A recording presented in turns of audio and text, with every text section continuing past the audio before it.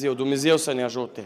Nu există șomer și o să discutăm despre lucrurile astea. Nu există oameni care să stea cu mâinile în sân și să spună în dimineața asta sau în după amiaza asta, cum vreți dumneavoastră, măi, noi nu avem ce să facem. Nu! Dragii mei, îmi dau seama că cei care s-au întâlnit cu Hristos, oamenii care au trăit cu Dumnezeu, sunt oameni a căror inimă va arde să facă ceva pentru Dumnezeu. Slăvit să fie Domnul! Dragii mei, știți ce înseamnă slujirea? Poți să iau oare un șervețel de aici? Mulțumesc. Știți ce înseamnă slujirea? I-am dat eu așa sau mă gândeam aseară și mă gândeam la o definiție și ascultați-mă. Am notat eu așa și am zis în felul următor. Slujirea înseamnă acțiune. Înseamnă să faci ceva. Nimeni nu o să poată sluji cu mâinile să nu. nu. Slujirea înseamnă să ies, să ieși din confortul tău. Și o să vezi la cine cheamă Dumnezeu zilele acestea. Slujirea înseamnă să nu stai liniștit, ci efectiv să te ridici, să renunți la ce al tău, să renunți la ceea ce ar trebui să faci pentru tine și să spui o singură întrebare. Ce pot face pentru Dumnezeu? Dragii mei, hai să mergem și bazat pe versetele acestea două, eu o să răspund la vreo 5 sau 6 întrebări. Și acum, prima întrebare la care aș vrea să răspundem împreună și mă gândesc, frate Doru, dacă e studiu, poate să fie interactiv, putem pune întrebări, sunteți de acord să-l facem interactiv? Mări să fie Domnul. Bun. Prima, prima întrebare la care vreau să răspundem atunci împreună îi cine cheamă la slujire? Că e foarte important cine cheamă. Dragii mei, haideți să punem un verset. Punem, te rog, Romani 11 cu 29. Uitați-vă ce spune Biblia, pentru că e foarte important cine cheamă la slujire și o să vă explic imediat de ce. Romani 11 cu versetul 29.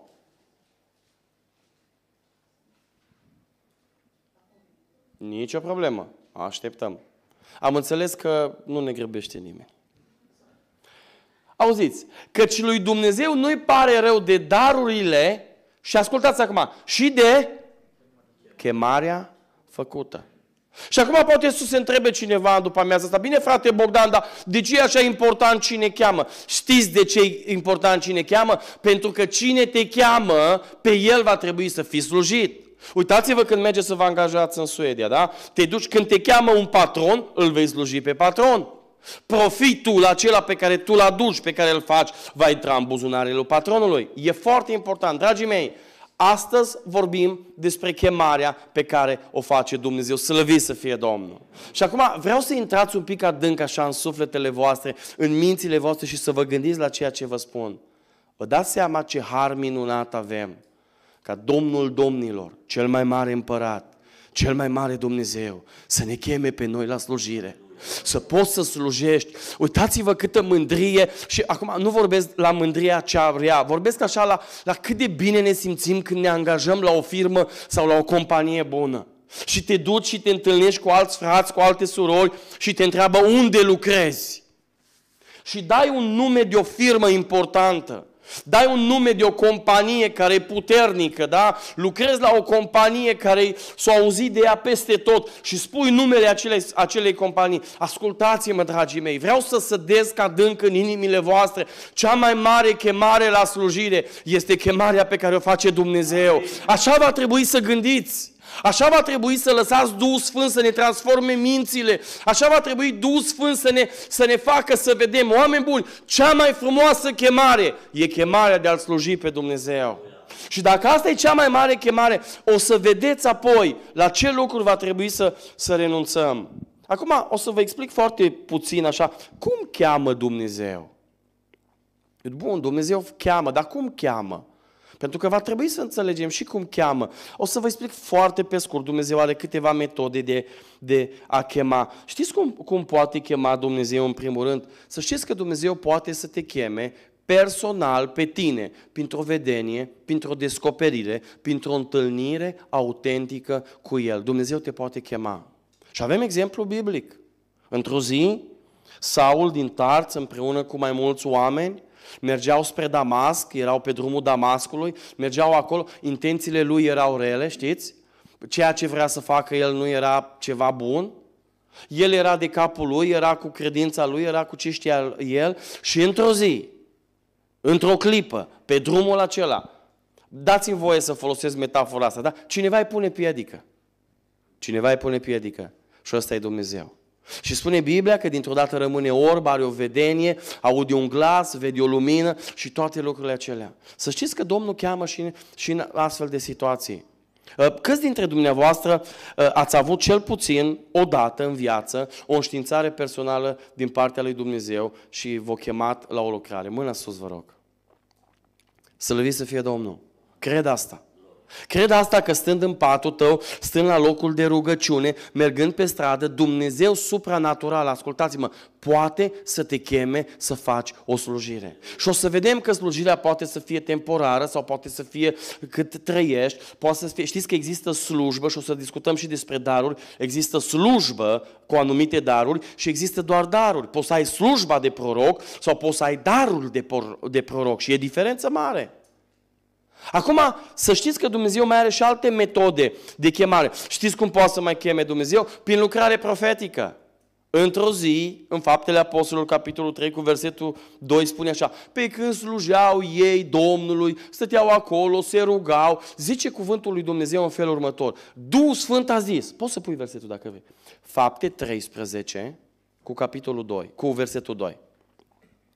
Și zice, pe când slujeau ei Domnului acolo, în rugăciune, în post, zice, Duhul Sfânt, uitați-vă ce zice, pe când slujeau Domnului și posteau, Duhul Sfânt a zis, lucrare profetică, puneți-mi deoparte pe Barnaba și pe Saul pentru lucrarea, pentru slujirea la care i-am Câți dintre voi nu vi s-a întâmplat să fiți la un cer de rugăciune, să fiți într-o seară, într-o biserică, să vină prorocul, să pună mâna pe tine și să spună așa îți vorbește Domnul și să înceapă să spună de lucrare.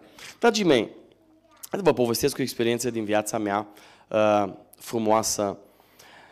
M-am căsătorit la 28 de ani, m-am întors la Domnul la 25 de ani, cu ajutorul Domnului să fac 40 imediat. La 28 de ani, nu era ca pe vremea asta, erau destul de puține zboruri. Unul dintre visele mele era să zbor și odată cu avionul. Și am zis, bă, M-am tot uitat, mă uitam pe internet, toate companiile astea low cost le-am luat și într-o zi am găsit cu 50 de euro, nu mai știu, de la Timișoara, cred că în Spania, undeva, la, la Barcelona, cred că era. Am găsit un zbor. Când am văzut 50 de euro, era și un băiat, un prieten de-a meu la Deva, care știa spaniolă, uh, el a zis, băi, vin cu tine, fac și o rost de 50 de euro, zice, mergem, stăm acolo, zice, o, o oră, două, trei, cinci, până mâine, vedem noi ce facem. Nici nu ne-am gândit unde dormim, ce facem și venim înapoi în România. Și am zis, gata, mă duc să zbor. Și am zis așa, bun, mă duc să... Acum eram căsătorit. Eram căsătorit de câteva luni, m-am dus la nevastă, acum soția nu e aici să mă audă, parcă așa cum o văd, i-am zis, draga mea, să știi că din bugetul familiei o să iau 50 de euro, uh, plec în Spania cu avionul. Mă, soția mea s-a uitat la mine și zis, bă, tu ești zdravă. Păi cum să dai 50 de euro pe avionul? Păi noi avem 50 de euro, dai 50 de euro dus, era 50 de euro întors. Păi noi stricăm 100 de euro acum. Și ea zice către mine, zice, auzi, știi ce facem? Hai că facem în felul următor. Zice, uh, nu cheltui 50 de euro, lasă că eu mă rog să te cheme cineva la predic acolo. Du-te, mă, zice, cine mă cheamă pe mine dincolo? Eu de-abia dădeam 3-4 îndemnuri, nici mai, de-abia vorbeam, citeam Biblia, încă nici nu știu dacă aveam citită toată Biblia, dar eram, eram încă la începutul slujirii. Am zis, cine mă cheamă pe mine? Și au zis, Bogdane, nu, eu mă rog ca Dumnezeu să te ajute să te cheme o biserică și să zbor cu avionul, dacă așa de mult îți doresc să zbor cu avionul. Și am spus, vezi de treabă că niciodată. Și așa m-am supărat și m-am dus supărat și era pe vremea când noi aveam, în fiecare vinere aveam nopți de veche, cel puțin acolo, în zona Hunedoarei. Și mă duc la un cer de rugăciune și mă pun acolo supărat și vine prorocul pe mine și pune mâna. Așa-ți vorbește Domnul, zice. Vei predica Evanghelia în țară, în străinătate și peste oceane. Amin. Am zis, proroc mincinos. Proroc mincinos, am zis, du-te de aici, m-am supărat, m-am enervat. Vă spun, am plecat de la cercul de rugăciune, am zis, ce? Zic, știți ce m-am gândit? Asta s-o înțeles cu nevastă mea că se cunoștea. Era și fată, era și prietenă cu soția mea. Ce că eu de-abia, eu de-abia citeam Tatăl nostru în fața fraților. Ce să mă chem pe mine în țară, în străinătate și ascultați. Peste când au zis peste oceane, am zis, du-te, lasă-mă cu oceanele. Nu cred, am zis. Oameni buni, Dumnezeu cheamă și prin prorocie. Vă spun ce s-a întâmplat. S-a întâmplat în felul următor. Au început să mă cerceteze lucrarea. N-am crezut-o. Nu vă spun, mai ales că îmi permiteam cu, cu sora proroc. Ce am făcut cu ea, Domnul să mă ierte acum. Deci dacă nu mi-am spus să se cerceteze și să se roage și o zis, frate Bogdan, așa am venit, am zis, du-te cu venitul și lasă-mă în pace, zice. Zic, pune-te pe genunchi și rogă-te Domnului că ești departe de adevăr. Am zis, tu Abar n-ai ce prorocești, am zis. Bă, foarte urât am, am a, nu cu cuvinte urâte, să nu mă înțelegeți greșit, dar așa am fost aspru. Era și supărat că nu mă lăsa soția să plec cu avionul. Ori trecut vreo 3-4 luni de zile și primesc un telefon din Anglia, un prieten de-a meu din România, plecat din Deva la muncă la Liverpool, avea binecuvântarea la copil. Mă sună. Pace, Bogdan, pace, zice, aș vrea să te chem la binecuvântare. Zic, unde? În Anglia. Cu ce? Cu avionul. Slăvit să fie Domnul. Bine, nu are rost să vă mai povestesc prima experiență la Cluj, toate avioanele mi se părea că le pierd, nu, mai, nu știam nici, am întrebat de 100 de ori, am și pe oameni, unde merge să nu mă urc în alt avion. Vă dați, au fost greu la început, dar unde am vrut și ce am vrut să scot în evidență? Dumnezeu cheamă prin lucrare profetică. O pus mâna pe mine și a spus așa, vei predica Evanghelia. Și am zis, nu cred. Dumnezeu ne poate chema. Cum cheamă Dumnezeu? Prin lucrare profetică. Știți cum mai poate chema Dumnezeu? Vă mai spun, prin slujitorii bisericii. Dumnezeu cheamă prin slujitorii bisericii. O să te trezești într-o zi că frații din conducere, frații din comitet, frații care au dar de discernământ de la Dumnezeu, că pun mâna pe tine și dintr-o dată te trezești că îți dă mai multă treabă de făcut. Și dintr-o dată fratele păstor vine și spune, te, te tot pune la îndemn, te tot pune, te tot pune, te tot pune. Și tu te întrebi, mă, da, de ce mă tot pune? Și nu numai că de ce tot mă tot pune, știți care e problema? Începe biserica parcă să spună, o, da, zice, ține cu el, are ceva, îl simpatizează. Nu, oameni buni! Dumnezeu vede chemare în felul acesta în unii oameni. Mă înțelegeți? Și ar trebui, când frații din comitet văd, să vadă și biserica lucrul acesta. Pentru că eu vă întreb, eu vă întreb, facem abstracție de tot, nu mă interesează cum e la dumneavoastră, nici măcar nu știu cum e la dumneavoastră, dar eu vă întreb, nu e important să fie zidită biserica? Și atunci ce mă interesează că cei care mă conduc sunt verișori, sau frați, sau prieteni, sau nu știu cum, pe mine mă interesează să fie zidită biserica. Înțelegeți? Și biserica trebuie să vadă asta. Biserica trebuie să vadă asta și Dumnezeu din cerul să ne ajute. Să știți că Dumnezeu cheamă prin slujitorii bisericii. E foarte adevărat că sunt și unii slujitori care nu văd, dar care nu văd, Dumnezeu are alte metode să cheme. Vă mai spun încă, încă o, un, un fel de chemare. Mai există încă o chemare, o chemare personală, fără vedenie, fără descoperire, fără să ai niciun vis, efectiv în interiorul tău știi că ești chemat la lucrare. Doi ani de zile în urmă, acum, eu m-am născut în Deva, am crescut în Deva, m-am pocăit în Deva, uh, am fost ordinat până la prezbiter în Deva și am slujit în Deva. M-am trezit într-o dimineață, asta e experiența vieții mele, așa au ales Dumnezeu să mă cheme în Oltenia ca și slujire. M-am trezit într-o dimineață și cum știți dumneavoastră că după ce terminăm sesiunile astea de, de învățătură, plecați fiecare la casele voastre, Așa știam eu că trebuie să merg în Oltenia. Un sentiment nici nu vi-l pot explica. Știam înăuntru meu că trebuie să fiu acolo. Nu știam unde, nu știam exact locul, dar știam că în Oltenia. M-am trezit a doua, a, doua, a doua zi, același sentiment. Veneam de la adunarea de unde slujeam, veneam către casa mea și ascultați-mă, simțeam că casa mea, aia, nu mai este casa mea. Ne-am rugat, am stat înaintea Domnului, am cerut locul în care să ne mutăm în Oltenia și în felul acesta, pentru o perioadă de timp, Dumnezeu a hotărât să ne mutăm și să slujim în Orșova, cu asociația pe care uh, o slujim, cu biserica în care suntem implicați. Dumnezeu a rânduit lucrul acesta. Oameni buni! Dumnezeu cheamă personal. Ascultă-mă! S-ar putea într-o dimineață să te trezești cu un gând și să spui, mă, dar ce, ce cu gândul ăsta? Nici, nici ție să nu-ți vină să crezi de ce chemare îți face Dumnezeu. Ascultă-mă. Dumnezeu zice așa, există un verset, îmi vine acum în cap, Evrei capitolul 11 cu versetul 6, zice așa, și fără credință este cu neputință. Dumnezeu onorează credința. Dumnezeu onorează credința. Ascultă-mă ce-ți spun. Când Dumnezeu îți face chemare, merită să o accepti. Slăvit să fie Domnul. Cine cheamă? Dumnezeu cheamă. Slăvit să fie Domnul. A doua întrebare la care vreau să răspundem. Cine este modelul nostru în slujire? Punem, te rog frumos, Matei 20 cu 28. Vreau să vă arăt ceva. Uitați-vă cine este modelul nostru.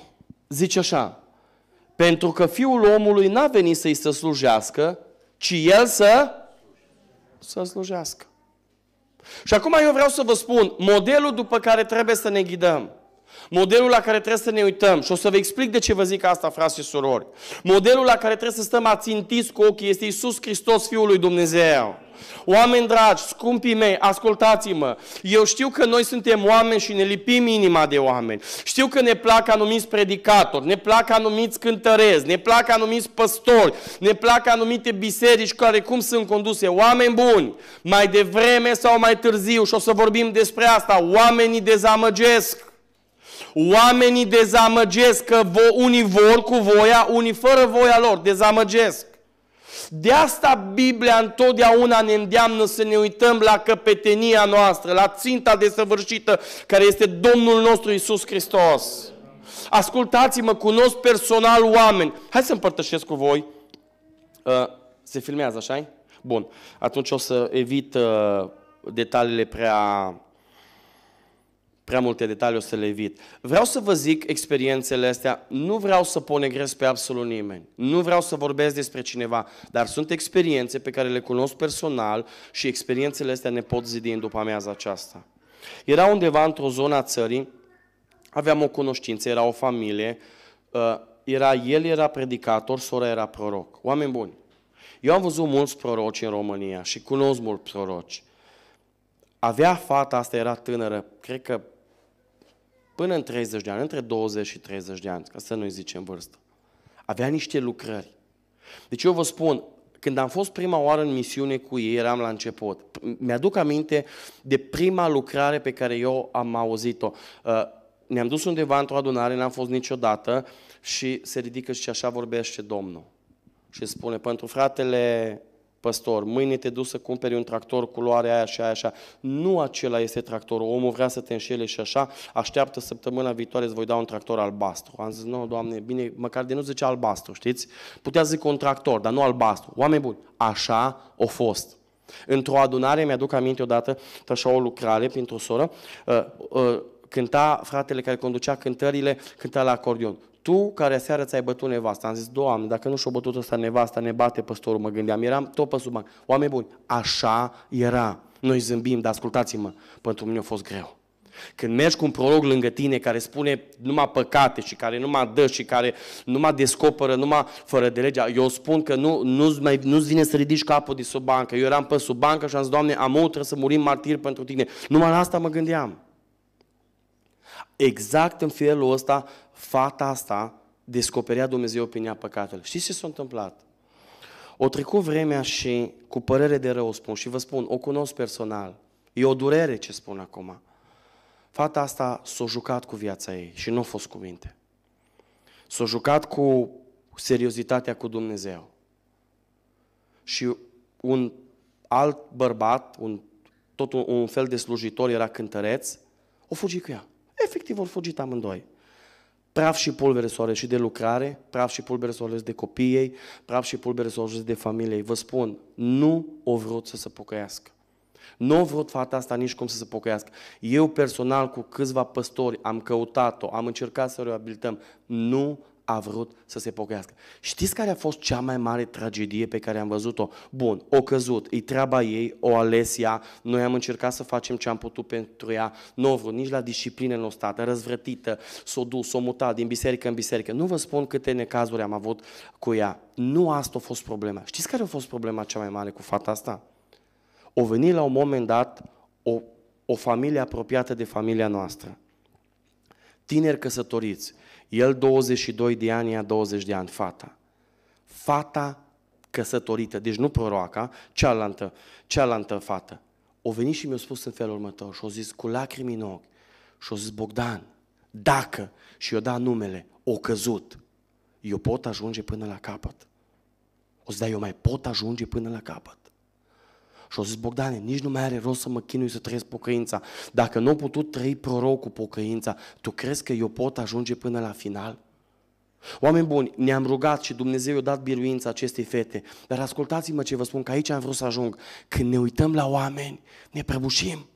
Ne uităm și vedem că unul a căzut, ne uităm și vedem că unul are nu știu ce slăbiciuni, ne uităm și vedem că nu știu ce o zis, ne uităm la lucrurile astea. Oameni buni, cel pe care trebuie să-L urmăm are un singur nume, Iisus Hristos, Fiul lui Dumnezeu.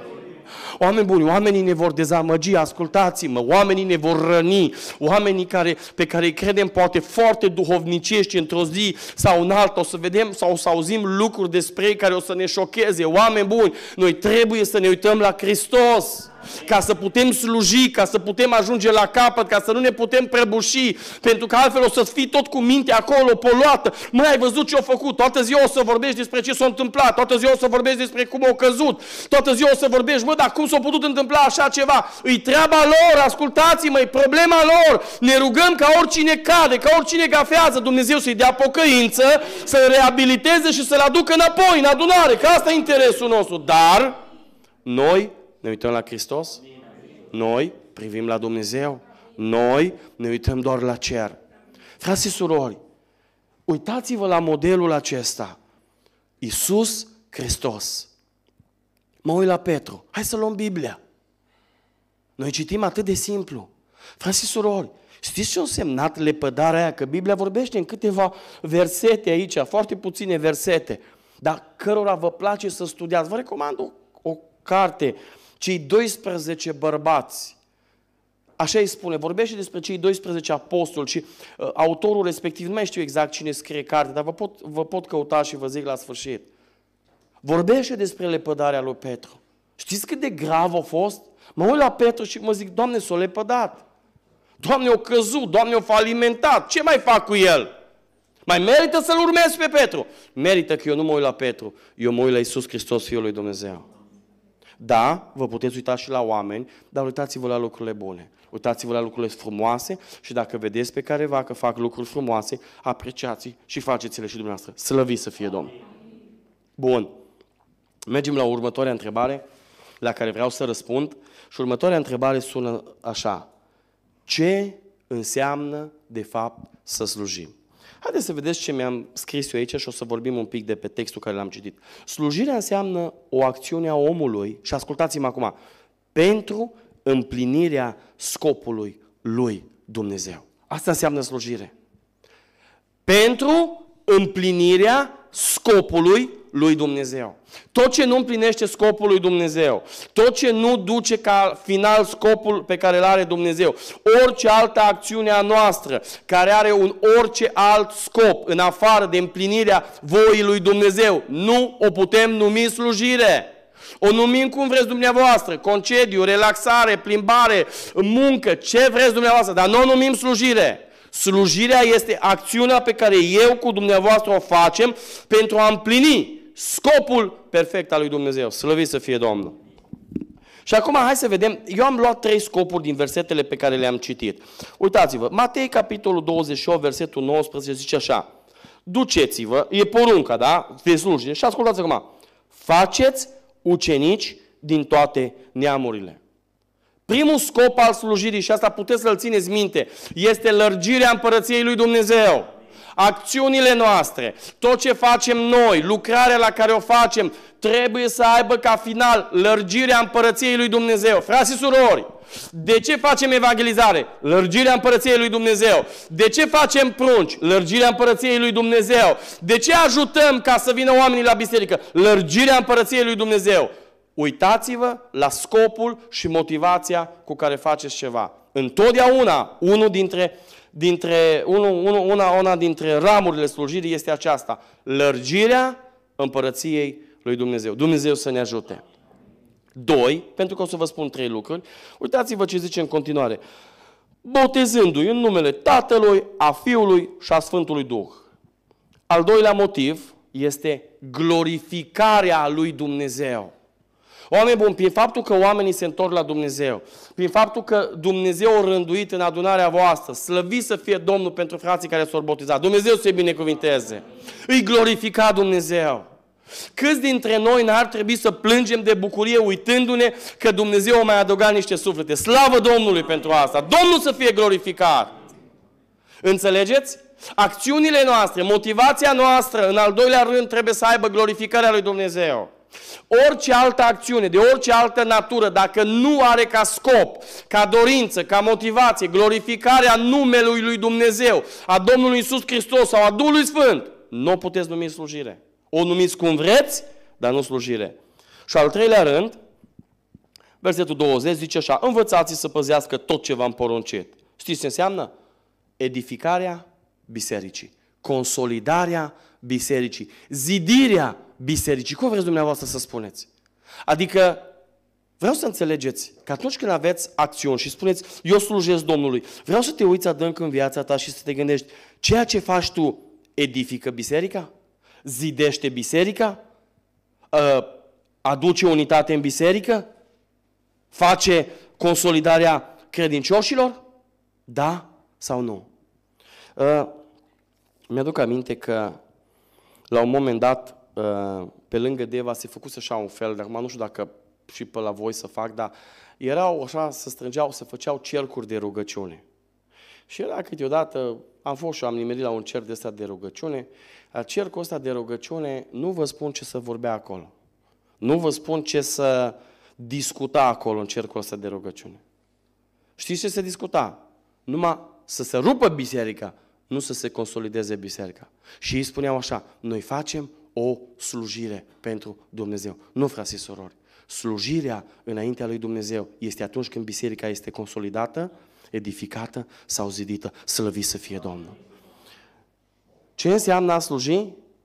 Înseamnă ca tot ce faci tu să ducă la lărgirea împărăției lui Dumnezeu, la glorificarea numelui lui Dumnezeu și la edificarea, consolidarea sau zidirea bisericii. Vreau să mergem mai departe Punctul ăsta este un pic mai lung. Uh, cum, cum e cu timpul, frate Doru? Că Mări să fie Domnul, suntem veșnici. Slăvi să fie Domnul. Nu că știți care e treaba, eu pot vorbi mult. Asta e. Îmi zice soția câteodată, zice, oh, dacă ai mai, mai, mai taci un pic, câteodată mai ascult, dar puțin. Vorbesc mult, vorbesc mult, da. Și să știți că e un defect ăsta să știți că e un defect și mă rog mult Domnului și slavă Domnului că cu cât am crescut în maturitate am ajuns să nu mai vorbesc ce nu trebuie și câteodată așa când mă scap să zic câte un lucru care nu trebuie, imediat îmi dau seama și mă opresc. Că Biblia zice despre cei care vorbesc mult că este cu neputință. Așa că din când în când mai scap câte un porumbel, îl prind, îl pare rău. Zic, Doamne, n-ar fi trebuit să zic asta. O să vorbim un pic și de vorbire. A patra întrebare la care vreau să răspund e uh, câte feluri de slujire sunt? O să vorbim un pic. Cei care aveți Sfânta Scriptură la voi, deschideți vă rog frumos la Luca, capitolul 10. Vreau să vă arăt două surori, Marta și Maria, voi le știți, ați auzit de ele. Luca, capitolul 10, de la versetul 39 și poți să-mi pui, te rog, și pe ecran. Două surori, pentru că Ceea ce vrea să ne spună textul aici vorbește despre două feluri de slujire. Spirituală și administrativă sau laică, cum vreți dumneavoastră să ziceți. Hai să vă citesc un pic textul ăsta să vedeți ceva. De la 39 la 40. Zice, ea avea o soră numită Maria care a șezut jos la picioarele Domnului și asculta cuvintele lui. Marta era împărțită cu multă slujire. A venit repede la el, i-a zis, Doamne, nu-ți pasă că sora mea m-a lăsat să slujesc singură? Zi, dar să-mi ajute. Trebuie răspuns, Iisus i-a zis, Marto, Marto, pentru multe lucruri te îngrijorezi și te frămânzi tu, dar un singur lucru trebuie. Maria și-a ales partea cea bună care nu îi se va lua. Frații și surori, vreau să scot în evidență și o să vă explic câteva lucruri despre două feluri de slujire care le găsim în adunare. Slujire spirituală și slujirea spirituală o să vorbim mai târziu. Este vorba despre darurile, capacitatea lui Dumnezeu pe care o pune în om, darurile Duhului Sfânt. Aia o face Dumnezeu și Dumnezeu capacitează omul să poată să facă anumite slujbe duhovnicești, spirituale, dar trebuie să recunoaștem că în biserică mai sunt și slujiri administrative. Eu vă întreb, dacă nu s-ar mai face curat trei luni de zile în sala asta, ne-am mai putea strânge aici? Nu. Dar eu vă întreb, după ce terminăm prima sesiune, să ne ducem dincolo și dincolo să găsim gol. Și nici un pahar aranjat și nici o sticlă de apă, de suc sau ce mai e pe dincolo. Cum ar fi? Bă, zici, cum i-au primit ăștia? nu e așa? Și aia este o slujire. Și o să vreau să discut un pic despre slujirea administrativă, pentru că există, frați și sorori, pentru că trebuie să fie, pentru că există slujire laică administrativă și există oameni chemați și o să vedeți cum diavolul vrea să, să, să schimbe ordinea, cum diavolul vrea să aducă minciună la nivelul minții noastre și să facă pe cei care slujesc administrativ să se simte mai inferior decât cei care slujesc spiritual. Nu e așa. Pentru că în seara asta o să vorbim de un trup. O să vorbim de o echipă, o să vorbim de un drum, o să vorbim de o țintă. Și cel care a pus paharele ca noi să putem bea o apă minerală după prima sesiune, o făcut-o pentru Dumnezeu, cred asta. Înțelegeți? Două feluri de slujiri. Slujire administrativă și slujire uh, spirituală. Vorbim despre cea administrativă. De câte ori ne-ați auzit predici din textul acesta Marta cu Maria și ați auzit pe frații predicatori în felul următor. Marta, extraordinar ce prostii au făcut. Vai cât de rea au fost. Ce i-a trebuit ei să slujească? Nu, nu mai vrem să o vedem pe Marta. Maria trebuie să facă. Numai Maria trebuie să... O, o scoatem pe Maria în evidență. Nu e așa că ați auzit? Am auzit și eu. Vă rog frumos să-mi spuneți, acum surorile nu fac exegeză pe text, frații fac. Frații care faceți exegeză pe text, vă rog frumos să-mi spuneți unde textul ăsta spune că, Maria a făcut, că Marta a făcut ceva rău. Arătați-mi versetul, arătați-mi unde scrie în toată Biblia că ceea ce a făcut Marta a fost greșit. Arătați-mi. Eu n-am găsit. Oameni buni, o să vă spun care a fost greșeala lui Marta. Imediat vă spun că ajungem acolo. Toată lumea o condamnă pe Maria. Problema e că textul nu o condamnă.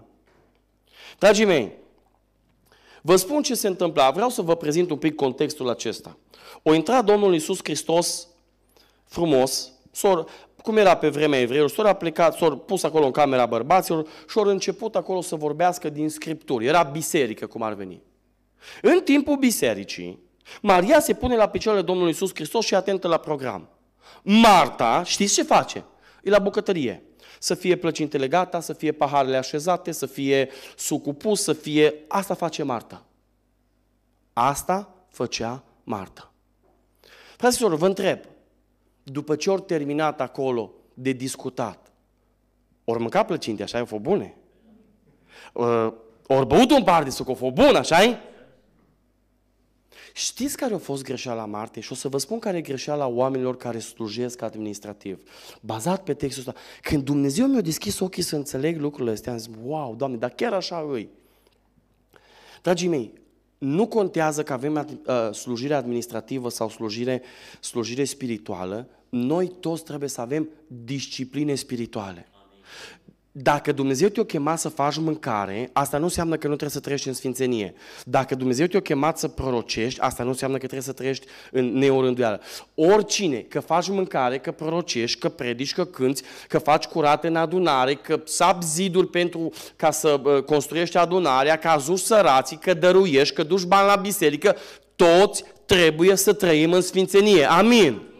Bun. Astea sunt disciplinele spirituale. Toți trebuie să ne rugăm, toți trebuie să postim și toți trebuie să citim Cuvântul lui Dumnezeu. Zice Domnul Isus în felul următor în predica de pe munte. Tu când te rogi, adică nu dacă vrei, nu dacă ai chef. Tu când postești, nu dacă vrei, nu dacă ai chef. nu e așa? Adică toți trebuie să avem viață de rugăciune, toți trebuie să avem viață de post, toți trebuie să avem viață de citit al cuvântului. Frații și surori, ascultați-mă. Oamenii care cad, și vă mai spun ceva, nimeni nu cade într-un păcat grav dintr-o dată, nimeni.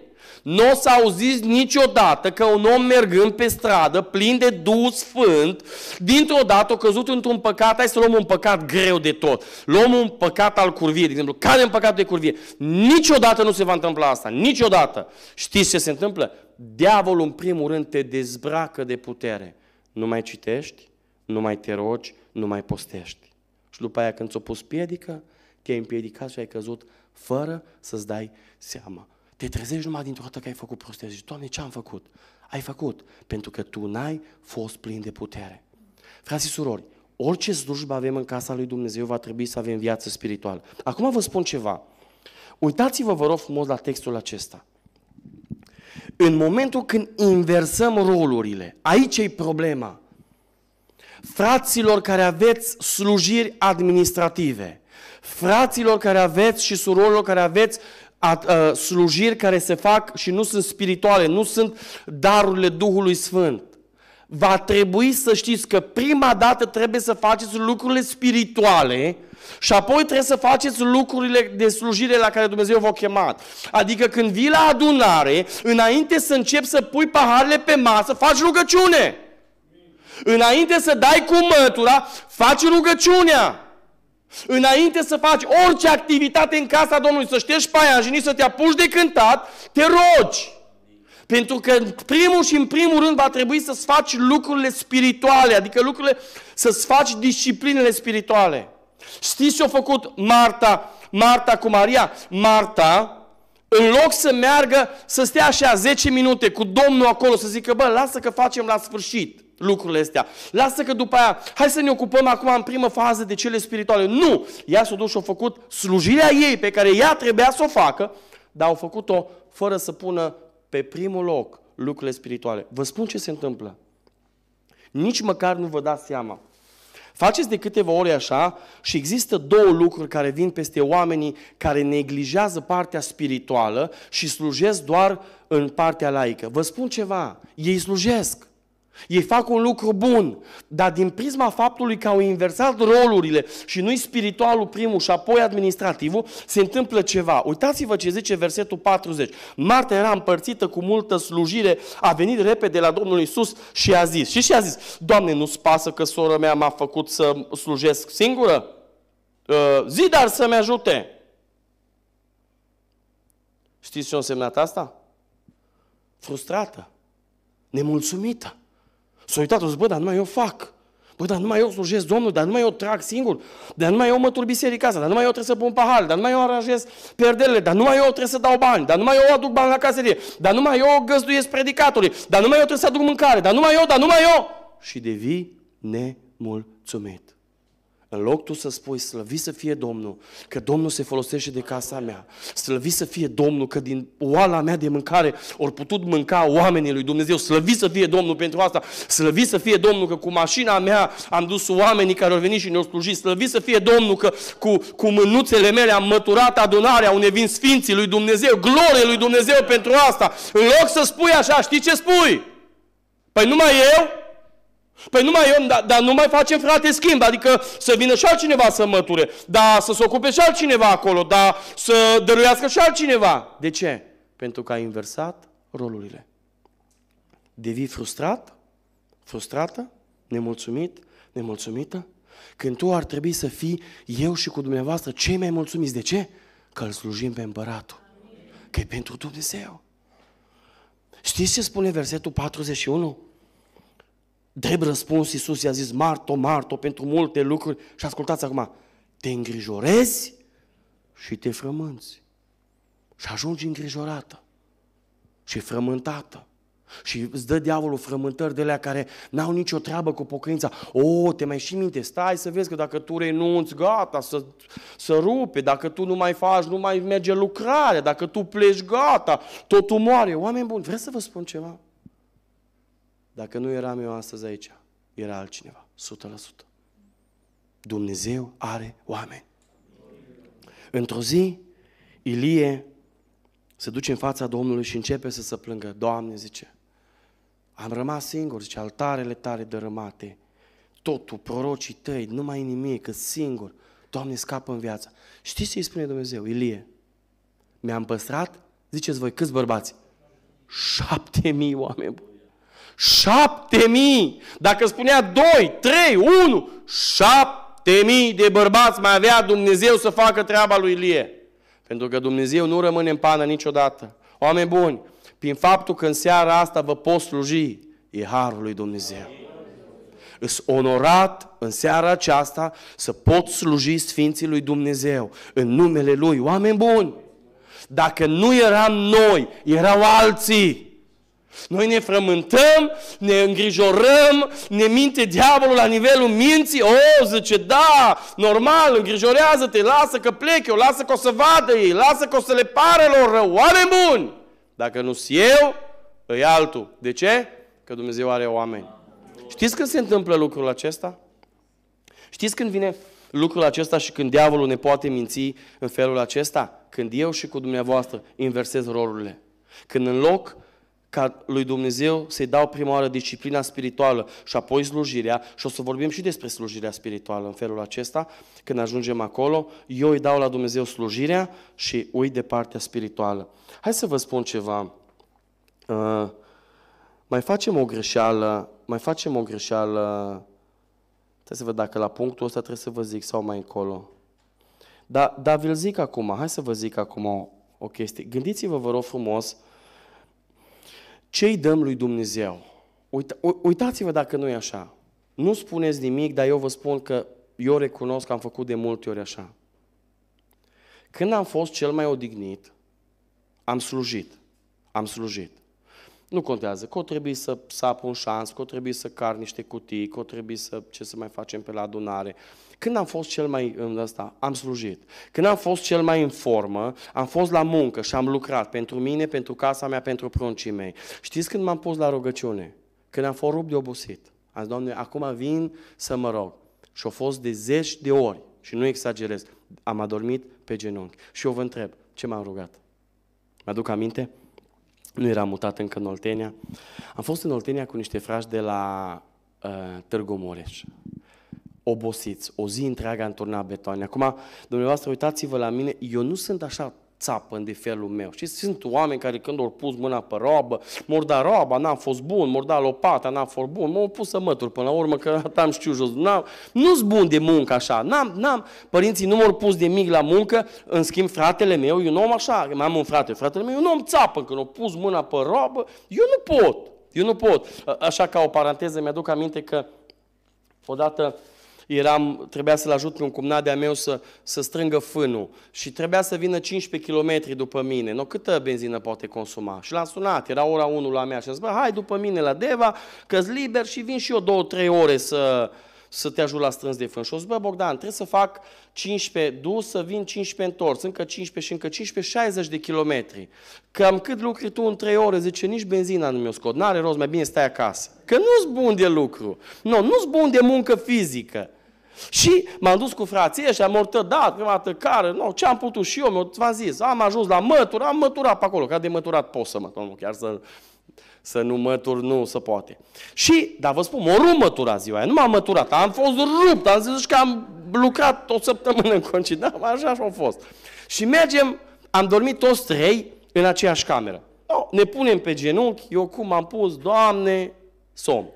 Eu nu sforei. Ăștia mi-au povestit a doua zi, eu zis, bă, Bogdan, mă, bă, tu știi ce ne-ai făcut? Eu am adormit. Ei se uitau la mine și zice, nu, le era rușine să se ridice de pe genunchi. Eu zic, bă, să roagă Bogdan, dar cum? Nu, nu, acum gândiți-vă, te duci, nu, te duci cu păstorul, dormi în aceeași cameră cu el și el se roagă. O zic, bă, zice, am stat vreo 40 de minute, era rupți, ne tot uitam, eu dormeam, n-aveam nicio treabă. Și ei se uitau la mine și ziceau, povesteau ei doi între ei, a doua zi m-au povestit. Și o zis, bă, zice, Bă, asta e, mă, ăsta se roagă mult, stai pocăi, zice, nu, nu. Și ne-am pus încet în pat. Zice, omule, noi ne-am dus pe la 9 acasă, dar vă spun, a fost o zi foarte, foarte, de dimineață de la 5 am lucrat, construiam un centru pe lângă Filiaș în, în, în Oltenia. Și o zis, mă, ne-am pus, ne-am pus pe la 10 în pat, zice. Băi, zice, m-am trezit, m-am uitat la telefon, era 11, tu erai pe genunchi. Am zis, Doamne, pe la două, S-a uitat la mine și a zis, bă, ăsta n-are cum să roage atâta, mă, dar cât să rogă, mă, eu rup, era rupt, după ce o dat cu mătura o zi întreagă, rupt, când să...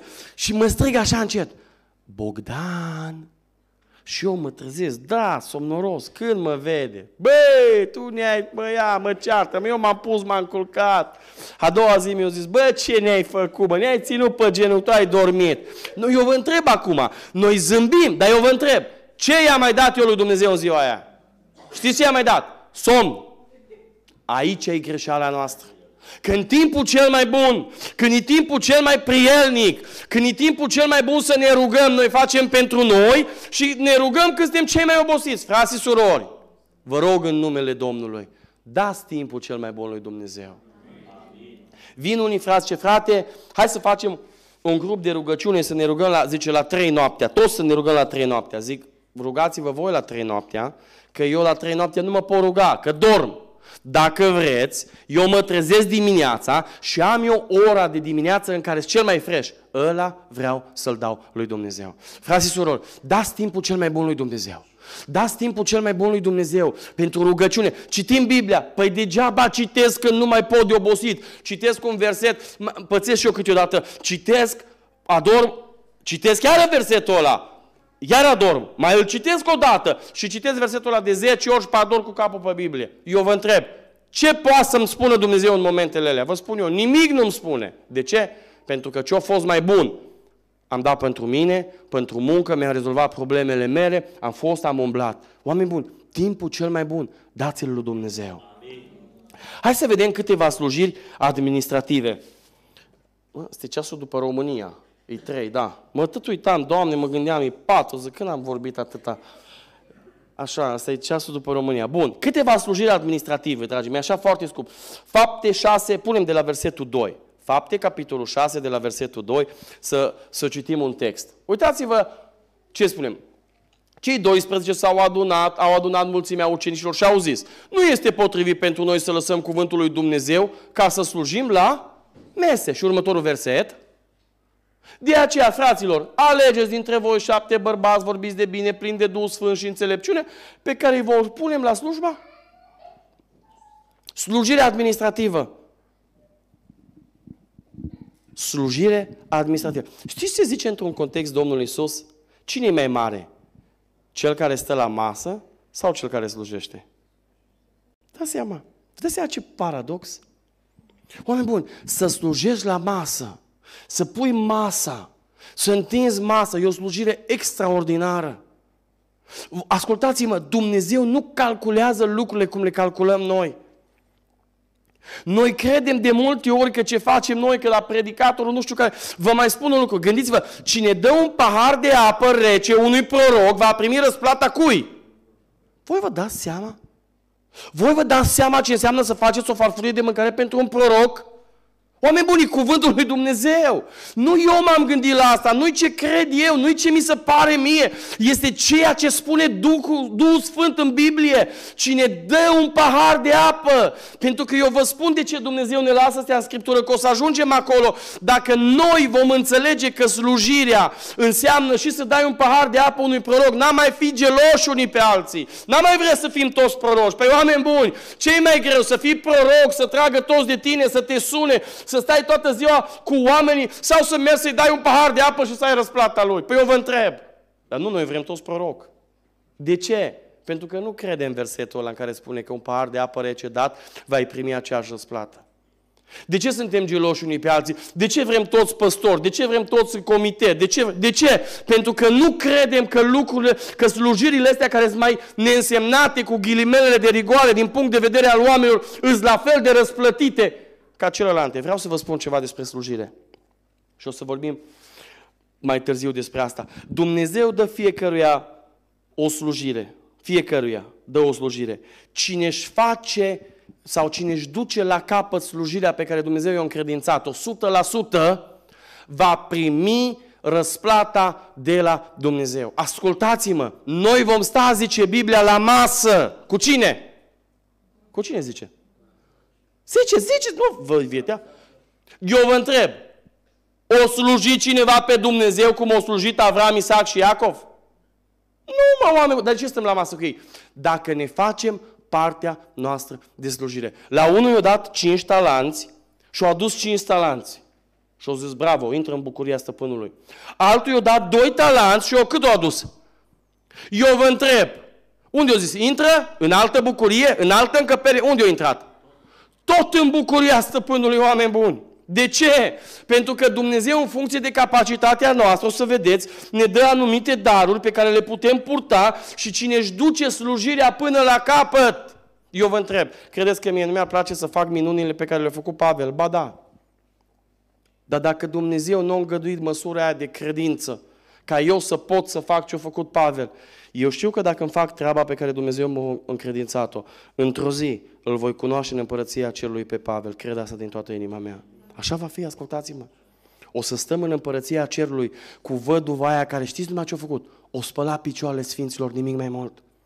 Cu văduva aia care au avut grijă numai de copii, și o să spui, păi dar cum? Eu, misionar, ucis pe nu știu ce triburi, uh, omorât pentru Hristos cu capul jos, răstignit în nu știu câte feluri, la aceeași masă cu văduva care o spăla picioarele Sfinților. Da! Pentru că Dumnezeu făie căruia dintre noi, o să vedeți, da, anumite slujiri. O slujire administrativă, slujești la mese. Hai să vă întreb ceva, vreau să vă arăt ceva despre Pavel. Punem, te rog frumos, Faptele Apostolilor, capitolul 11, versetul 29. Voi știți care a fost prima lucrare a lui Pavel pe care a făcut-o Pavel? Pavel nu a predicat Evanghelia din prima. Uitați-vă ce a făcut. Ucenicii au hotărât să trimită fiecare după puterea lui un ajutor fraților care locuiau în Iudeea. Următorul verset. Ceea ce au și făcut și au trimis acest ajutor la prezbiterii prin mâna lui Barnaba și a lui Știți ce a făcut prima dată Pavel? Apostolul Pavel? Care venea de la, permiteți-mi să spun așa, picioarele lui Gamaliel, de la Institutul Teologic Penticostal, Media 10, cel mai bun doctorat în teologie, tot ce vrei Știți care a fost prima slujire pentru Hristos? Căra ajutoare. Ducea cartofi la oamenii necăjiți, nu știu ce ducea acolo. Haine, nu știu ce le-a dus, bani, abar n-am ce le-a dus. Zice, un ajutor. Ori strâns acolo ceva în biserică. Și apostolul Pavel, cât a fost el de apostolul Pavel, o lua cutiile cu ajutoare, că vă spun ceva, nu le cărau ca noi. Și nu le trimiteau nici prin curier și nici prin DHL și nu erau așa. Le cărau ei cu mânuțele lor. Și o lua cutiile și o lua saci și ce o mai luat și o pleca cu ele. Știți că asta este o slujire administrativă? Da? Matei, capitolul 27, de la 50 la 60. Hai să vă citesc o, un pasaj interesant. Matei 27 de la 57. 57, te rog. Așa. Hai să vă citesc despre un om. Spre seara a venit un om bogat din Arimatea numit Iosif, care era și el pocăit, da? Putem spune așa. Următorul verset. Uitați-vă ce a făcut. El s-a dus la Pilat, a cerut trupul lui Isus, Așa, Pilat a poruncit să îl dea, următorul verset. Iosif a luat trupul, l-a înfăsurat într-o pânză curată sau nouă, putem spune, de in. Pânza aia a costat bani, mă gândesc, nu? O plătit-o.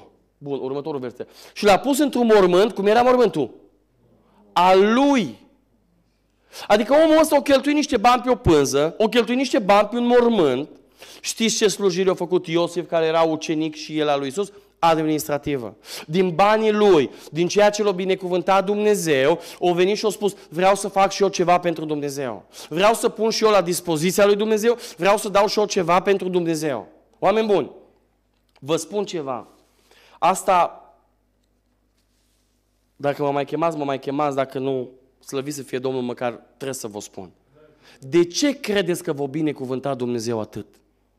De ce credeți? Ca să fiți o mână întinsă pentru alții. Eu sunt convins că fiecare dintre voi nu-l aveți aici în Suedia, că în Suedia nu este, dar aveți în România un Lazar plin de bube care e la poarta voastră. Poate e vecin la casa unde, sau pe care ți-o faci în România. Poate e un om în satul sau în orașul din care ai plecat și îți aduce aminte de el. Și tu aici ai ce mânca, ai mașină, ai haine, ai tot ce trebuie, îți permis concediu și băiatul ăla sau omul ăla sau fata aia sau doamna aia sau sora aia poate sau fratele ăla din România îi la poarta ta și Dumnezeu l-a lăsat la poarta ta să vadă ce faci cu binecuvântarea binecuvântările pe care Dumnezeu ți le-a dat. Bun, într-o secundă, dacă Dumnezeu își trage mâna de peste mine și de peste tine, ascultați-mă, se prăbușește tot ce înseamnă financiar. Se prăbușește buzunarul nostru, se prăbușește portofelul nostru, se prăbușesc finanțele noastre. Avem pentru că Dumnezeu a îngăduit să avem. Dar de ce ne-a dat Dumnezeu să avem? De ce? Vă spun eu de ce. Ca să fim o binecuvântare pentru alții. Frați și surori,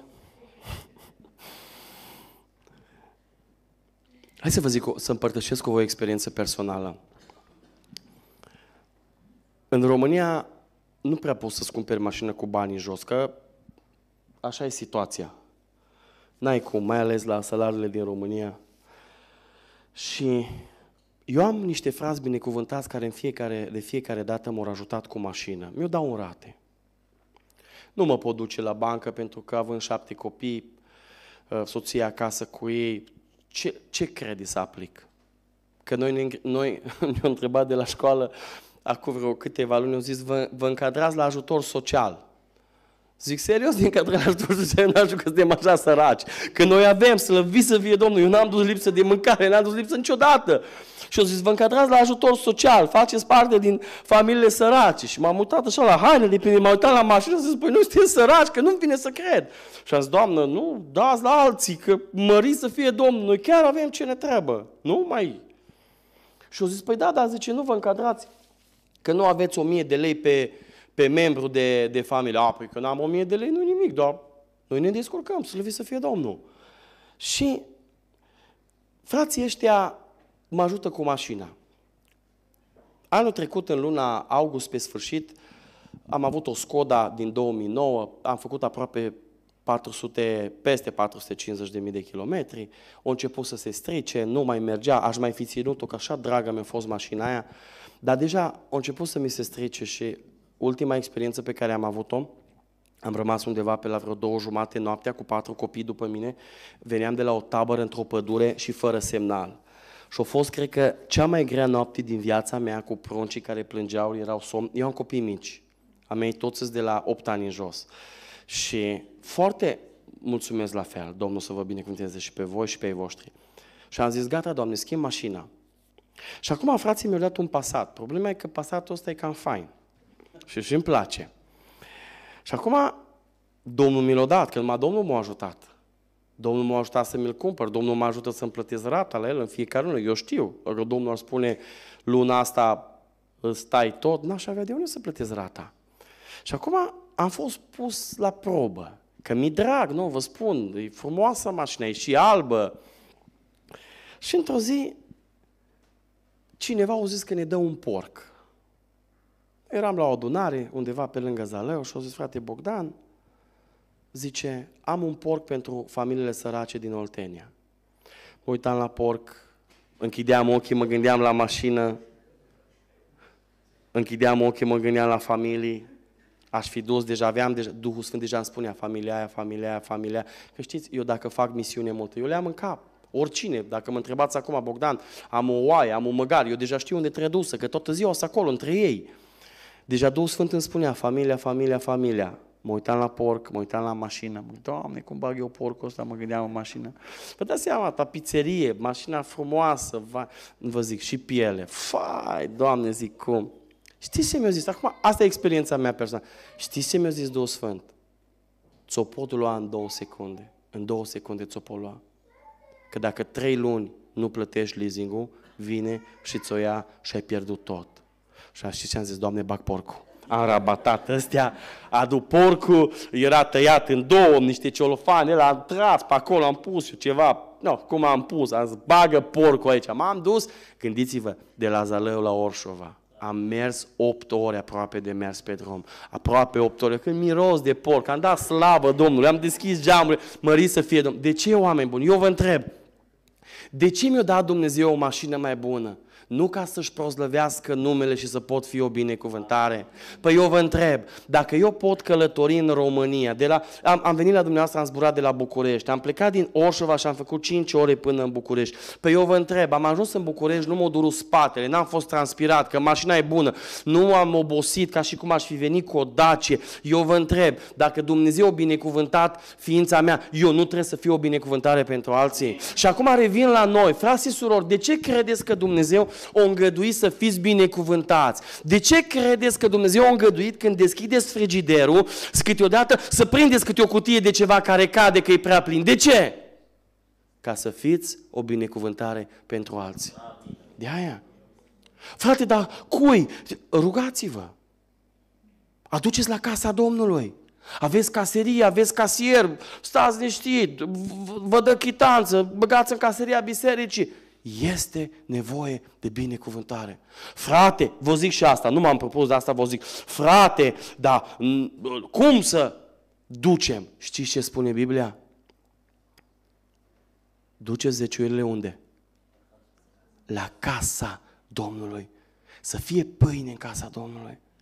Să nu trebuiască să fii stresat că n-ai să plătești chiria, n-ai să plătești curentul, îți trebuie o boxă, nu o poți cumpăra, s-a stricat o clapă la pian, suntem disperați, nu știm ce să facem, s-a stricat un microfon, nu avem bani, oameni buni! Dumnezeu ne-a dat să fim o binecuvântare. Și pe lângă zeciuieli, în Noul Testament, unde inima e pentru Dumnezeu, ori de câte ori Duhul Sfânt va aduce aminte de un caz, dați Domnului și o să vedeți cât de binecuvântat sunteți. Vă spun ceva, am hotărât cu soția la un moment dat, acum doi ani de zile. Eu vă spun, noi am dus-o foarte greu undeva. Foarte, foarte greu am dus undeva. Au fost zile când zicea, du-te ia niște banane. Nu, efectiv nu aveam, nu că nu a fost pâine pe masă, dar nu îți permiteai nu știu ce ciocolată, nu îți permiteai nu știu ce, uh, uh, să zic că îți cumpărai. Nu vă spun. Mai îmi zicea frate, zice, frate, zice, o dată pe săptămână, zice, du și tu soția la restaurant. Eu mă gândeam, Doamne, pe eu aș duce o dată pe lună, dar de unde, că nu puteam. Că așa e în România, frații și soră. Pe când te uiți că dai 70 de euro ca să mănânci o masă, mănânci felul întâi, felul, dai, nu felul întâi și felul de să mănânci felul doi, să mai mănânci un desert și să mai bei nu știu ce uh, limonadă de nu știu de care să mai fac echipă, dar nu-ți vine să dai banii ăștia. Și am zis, de unde mă, nu este. Când ne-am mutat în Oltenia, nu pot să vă spun când, că e pactul nostru cu Dumnezeu. Am spus așa, Diana, ne-am hotărât amândoi, noi dăm zeciuială la biserică și dărnicie unde e nevoie. Am zis, nu mai facem așa. Uite, schimbăm placa.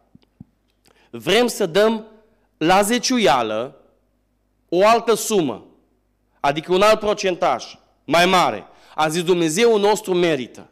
Frații și surori, am rate, am chirie, am șapte copii și ascultați-mă, de când m-am mutat în Oltenia, Dumnezeu ne-a binecuvântat, în fiecare săptămână putem mânca banane dacă vrem. Și ascultați-mă, dau mai mult pentru Dumnezeu. De ce?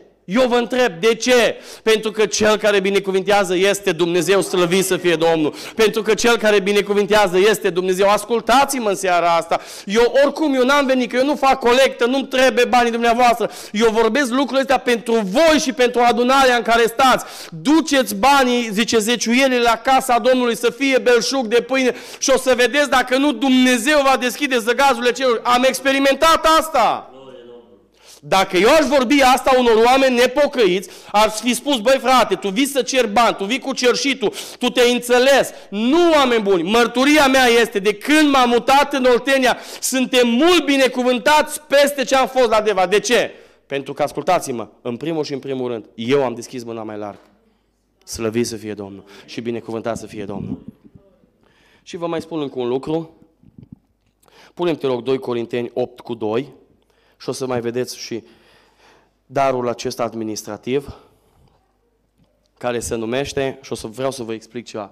În mijlocul multor necazuri prin care au trecut, bucuria lor peste măsură de mare și sărăcia lor luce au dat naștere la un belșug de, și vă rog spuneți voi, dărnicie.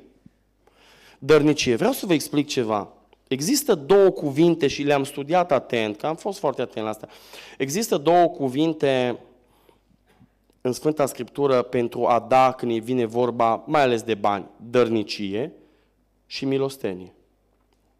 Să știți că sunt doi termeni diferiți și înseamnă două lucruri diferite. Și o să vreau să vă explic asta.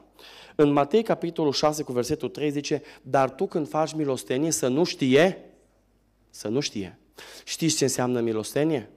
Milostenie înseamnă, să-mi lași, te rog, 2 uh, Corinteni 8 cu 2, să-mi lași asta, că vreau să, vreau să vreau să vorbim un pic despre versetele astea. Când faci milostenie, înseamnă că Dumnezeu îți vorbește ție personal, că cineva din adunare sau cineva din orașul ăsta sau de oriunde vreți dumneavoastră o duce rău și tu vii pregătit, cu un plic, cu niște bani, dai mâna și ai plecat, nici nu stai la discuții. Și aia este milostenie, nu știe stânga ce face dreapta. Și ascultați-mă, noi trebuie să știm și să facem milostenie. E important să facem milostenie. Să nu spuneți niciodată că, uh, uh, Doamne, dar e puțin, Doamne, știți câte experiențe am cu bani puțini? Pentru că vă spun ceva, banii mei puțini în mâinile puternice ale lui Dumnezeu pot face minuni. Eram căsătorit de aproximativ un an de zile și Dumnezeu, lucram dispatcher, câștigam bine, câștigam bine. Mi-am dat demisia pentru că nu mai puteam lucra la dispecerat, așa era situația, trebuia să aleg între a trăi adevărul Scripturii sau să lucrez la dispecerat, mi-am dat demisia. Au urmat 8 luni de zile, cele mai grele din viața mea, cele mai grele. Vă, fraților, deci ascultați-mă, mă bărbați o să mă înțeleagă, nu puteam face rost de o pâine să o duc acasă. Mergeam la adunare pe jos, 4 km. Ieșeam de la adunare și stăteam în fața adunării cu Biblia. La Deva mă știau toți frații.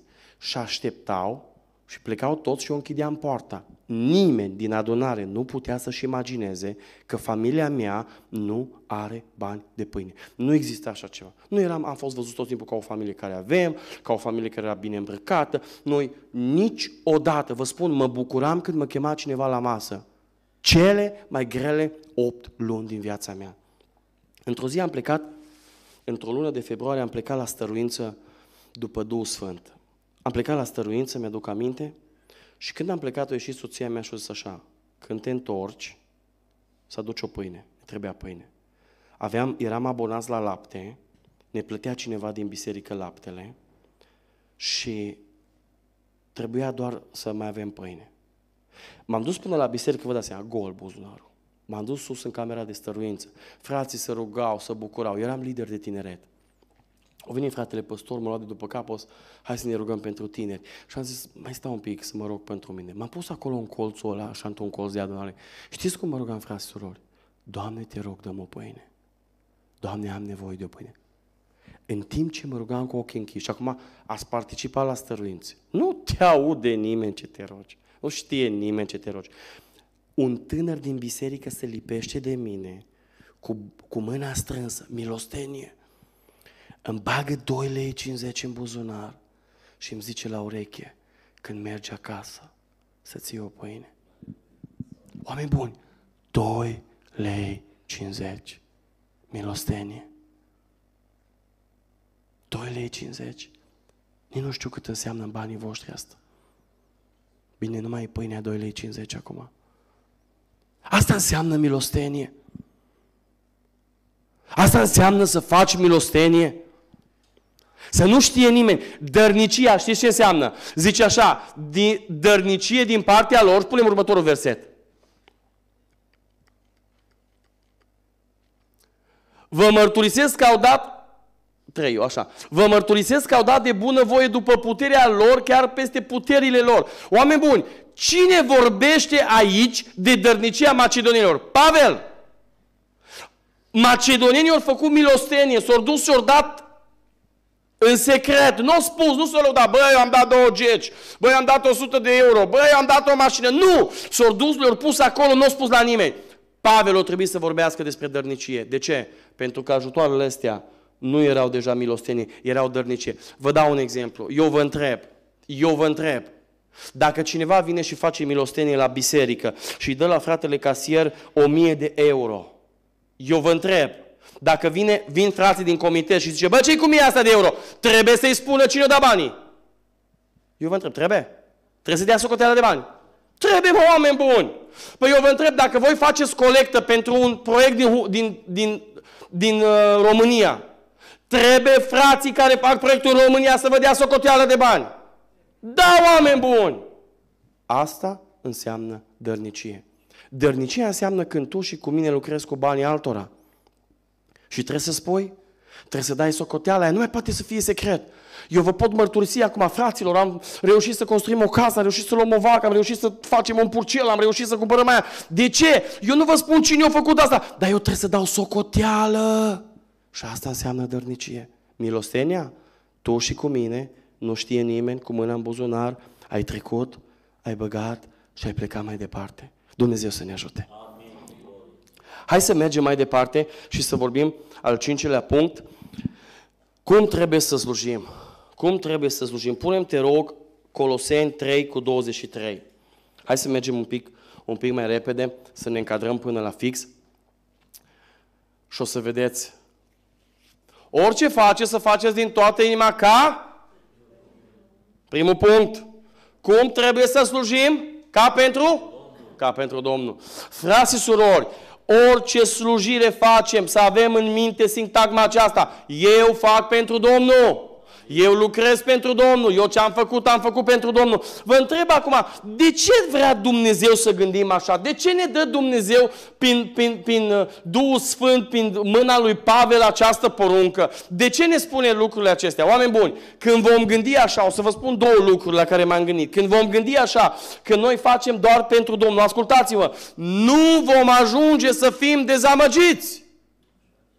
Păi oameni buni, când ne uităm la oameni, când vezi că te-ai făcut pentru unul, când ai vezi că te-ai făcut pentru altul, când vezi că te-ai implicat, că ți-ai pus umărul, l-ai ajutat, că ți-ai pus cuvântul și te trădează. Sau te mirți ce prostii face, te face de rușine, de vorbește toată țara asta de tine. Păi dacă te uiți la om, rămâi dezamăgit. Tu și cu mine trebuie să spui așa, ce am făcut eu, am făcut pentru Domnul. E treaba lor ce fac oamenii. Oameni buni, nu vom rămâne dezamăgiți, oamenii dezamăgesc. Vreau să vă spun ceva. Cât ai ceva de oferit, am văzut lucrul ăsta, am trecut eu, am trecut iarna asta printr-o boală. Cât n-am avut ce să ofer, ascultați-mă, cât nu mai ai ce să oferi, oamenii nu te mai caută. Oameni buni, vă trebuie să înțelegeți lucrul ăsta. Trebuie să fim sinceri. Oamenii ne caută cei mai mulți din interes. Cei mai mulți, trebuie să știi, omul te sună pentru că ai o anumită funcție, omul te caută pentru că ai ceva să, să-i oferi. Dar ascultați-mă ce vă spun, și surorile și frații, dacă tu faci pentru Domnul, nu vei rămâne dezamăgit. Când omul nu-ți mai, mai bate la ușă, când omul nu o să te mai caute, când omul nu o să mai aibă nicio treabă cu tine, tu o să stai liniștit în camera ta și o să spui, Doamne, am făcut pentru tine pentru tine. Am slujit pentru tine, am predicat pentru tine, am muncit pentru tine, am spălat vase pentru tine, am măturat pentru tine, am predicat pentru tine. Doamne, nu mă interesează ce fac frații. Că te uiți că slujești câteodată cu atâta, cu atâta, cu atâta, să zic, dăruire, ani de zile, ani de zile, și după aceea, pac, cât e un șut în fund, cât e un frate, cât e o soră, cât e un membru, și te duci acasă de zamă și zici, Doamne, Doamne, nu, n-ai voie. Tu ai făcut pentru Domnul. Cel care îți va răsplăti, Domnul. Cel care te va binecuvânta, Domnul. Slăvit să fie Domnul. Mi-aduc aminte, hai să împărtășesc o experiență cu voi. Am făcut o, o bucătărie la o familie săracă, avea 12 copii. Cel mai mare băiat, 24 de ani, aveau două camere, ca o casă veche, veche pe acolo până în Oltenia. Am făcut o bucătărie așa mare, de vreo 6 metri pe 4, dacă nu greșesc, 3 jumate, 4. Băiatul cel mare o zis, frate, zice, eu vă ajut să turnam. Noi băgam acolo toți la betonieră, zice, eu vă ajut, dar zice, un milion pe zi. Bă, zic, e la tine acasă. Hai ce m-a supărat, nu vă zic ce m-a supărat atunci. Păi bă, la tine acasă un milion pe zi. O zis, păi dacă nu pui aici la betonieră, eu zgolesc betoniera în curte, strângem betoniera și mergem. La un moment dat s-au terminat fondurile, n-am mai avut bani. Eu aveam, cum e la noi în România, BCR-ul, am avut un card de credit de 1000 de euro. Frații și surori, am terminat casa aceea, bucătăria, eu vă zic, acum n-ar fi trebuit să vă zic, dar vă zic lucrurile astea ca să vedeți cum sunt oamenii. Pe cardul meu de credit. M-am dus acasă, nevastă mi-a zis, am văzut nu știu ce, să-mi dai cardul. Am zis, e gol. Cum e gol? L-am golit. Ce ai făcut? Pa, când s-a uitat, becea, tencuială, ce-a mai fost pe acolo? Trei săptămâni mai târziu. Toată zona aia voia. Fratele Bogdan, o strâns bani pentru casa noastră. S-a îmbogățit. Fai ce și-o luat. Fai ce și-o cumpărat. Oameni buni, mă sună un slujitor din România. I-am spus, bă, omule, nu te supăra, îmi pare rău, dar tu e slujitor, slujitor 10, minte 0. M-a sunat, nici măcar nu m-a întrebat despre ce e vorba. Nu m-a sunat, m-a zis, bă, să nu mai predici în viața ta. Ai furat banii oamenilor. Doamne! No, gândiți-vă acum cum mă simțeam eu, pe unde mergeam, care cum se uitau la mine, mă gândeam, bă, și ăștia cred că am furat banii oamenilor. Eu, dar nu vă spun, eu sărar lipitul. Eu nu puteam nici măcar să plătesc ratele la bancă, eram cu cardul de credit descoperit, nu aveam bani să plătesc, plăteam, deja plăteam domândă pe banii ăia și ăștia mă acuzau că am furat banii. Familia! Știți cât am fost supărat? Trei zile. După trei zile, în timp ce mă rugam, Duhul Sfânt îmi zice la nivelul minții, Bogdan, pentru cine ai făcut lucrul ăsta? Și atunci m-am deșteptat. Și zis, Doamne, eu l-am făcut pentru tine. Păi ce mă întresează ce zic? Să vorbească, să zică, să dreagă, să treaba lor. Oameni buni, m-am ridicat în picioare și dintr-o dată mi-am revenit. Strigam prin casă, eu am făcut pentru Domnul, pe mine nu mă interesează ascultați-mă, dintr-o dată mi-am referit și am început să fiu un om normal. Vă spun ce s-a întâmplat patru luni de zile mai târziu. Patru luni de zile mai târziu mă trezesc într-o adunare că vine cineva și se aruncă de gâtul meu și plânge. Cine credeți că era? Fratele respectiv. Și sora să ținea și de gâtul lui și de gâtul meu, așa cumva. Plângeau amândoi pe gâtul meu. Frate Bogdan, iartă-ne, iartă-ne, iartă-ne, iartă-ne, iartă-ne. Dar n-ai o mașină de lemne, zice, că înghețăm de frică. Și Duhul Sfânt mi-a zis, pentru mine. Am zis, da, am, am, că e pentru Dumnezeu. Oameni buni, ca să poți să mergi mai departe, trebuie să gândești, tu slujești pentru Dumnezeu. Frate, zice, nu m-a pus, nu contează, am stat în bancă, m-am rugat, cui? Lui Dumnezeu pentru cel ce predică. Nu mi-a făcut, nu-i nimic. Pentru cine am făcut? Pentru Dumnezeu. Oameni buni, de-aia nu-i bine să părăsim adunarea. De-aia spune Biblia, nu plecați. Păi dar pe mine mă interesează că mă supără unul, mă supără altul. Nu! Știi când te muzi din adunare? Când îți vorbește Domnul numai. Când Domnul are un alt plan cu tine și te trimite în altă parte. Până atunci, că ăla nu știu ce îmi zice, că ăla nu știu ce îmi face. Treaba lor! Eu stau aici, nu pentru voi, pentru Domnul. Eu seara asta am venit în primul rând aici. Pentru Domnul. Nu pentru voi. Pentru Domnul. De dragul lui Dumnezeu. Și apoi de dragul oamenilor. Slăvit să fie Domnul. Bun. Uitați-vă, uitați-vă ce zice Pavel. Punem 2 Timotei 4, 14. 2 Timotei, capitolul 4, de la versetul 14. Hai să vă citesc ceva. Uitați-vă ce, ce, ce zice Pavel aici. Vorbește despre Alexandru Căldăraru. Alexandru Căldăraru mi-a făcut mult rău. Domnul îi va răsplăti după faptele lui. Treaba lui, zice Pavel. Și zice, păzește-te și tu de el, pentru că el este cu totul împotriva cuvintelor noastre, următorul verset. Și auzi, la întâiul meu răspuns de apărare, nimeni n-a fost cu mine, ci toți m-au părăsit. No, acum, lasă versetul. No, acum gândiți-vă dumneavoastră. Oamenii ăia pentru care Pavel a luptat, oamenii ăia pentru care Pavel a depus efort, oamenii ăia pentru care Pavel s-a sacrificat, poate o sta nemâncat, poate o băga mâna în buzunarul lui. La primul meu răspuns de apărare, auziți, nimeni, singur. Știți cum poate gândi un om care toate lucrurile le face pentru Domnul? Uitați ce zice Pavel. Să nu li se țină, nu, lasă în versetul. Să nu li se țină în socoteală? N-ai cum să spui asta. N-ai cum să spui asta când te uiți la om, când te uiți că ai făcut pentru el. N-ai cum.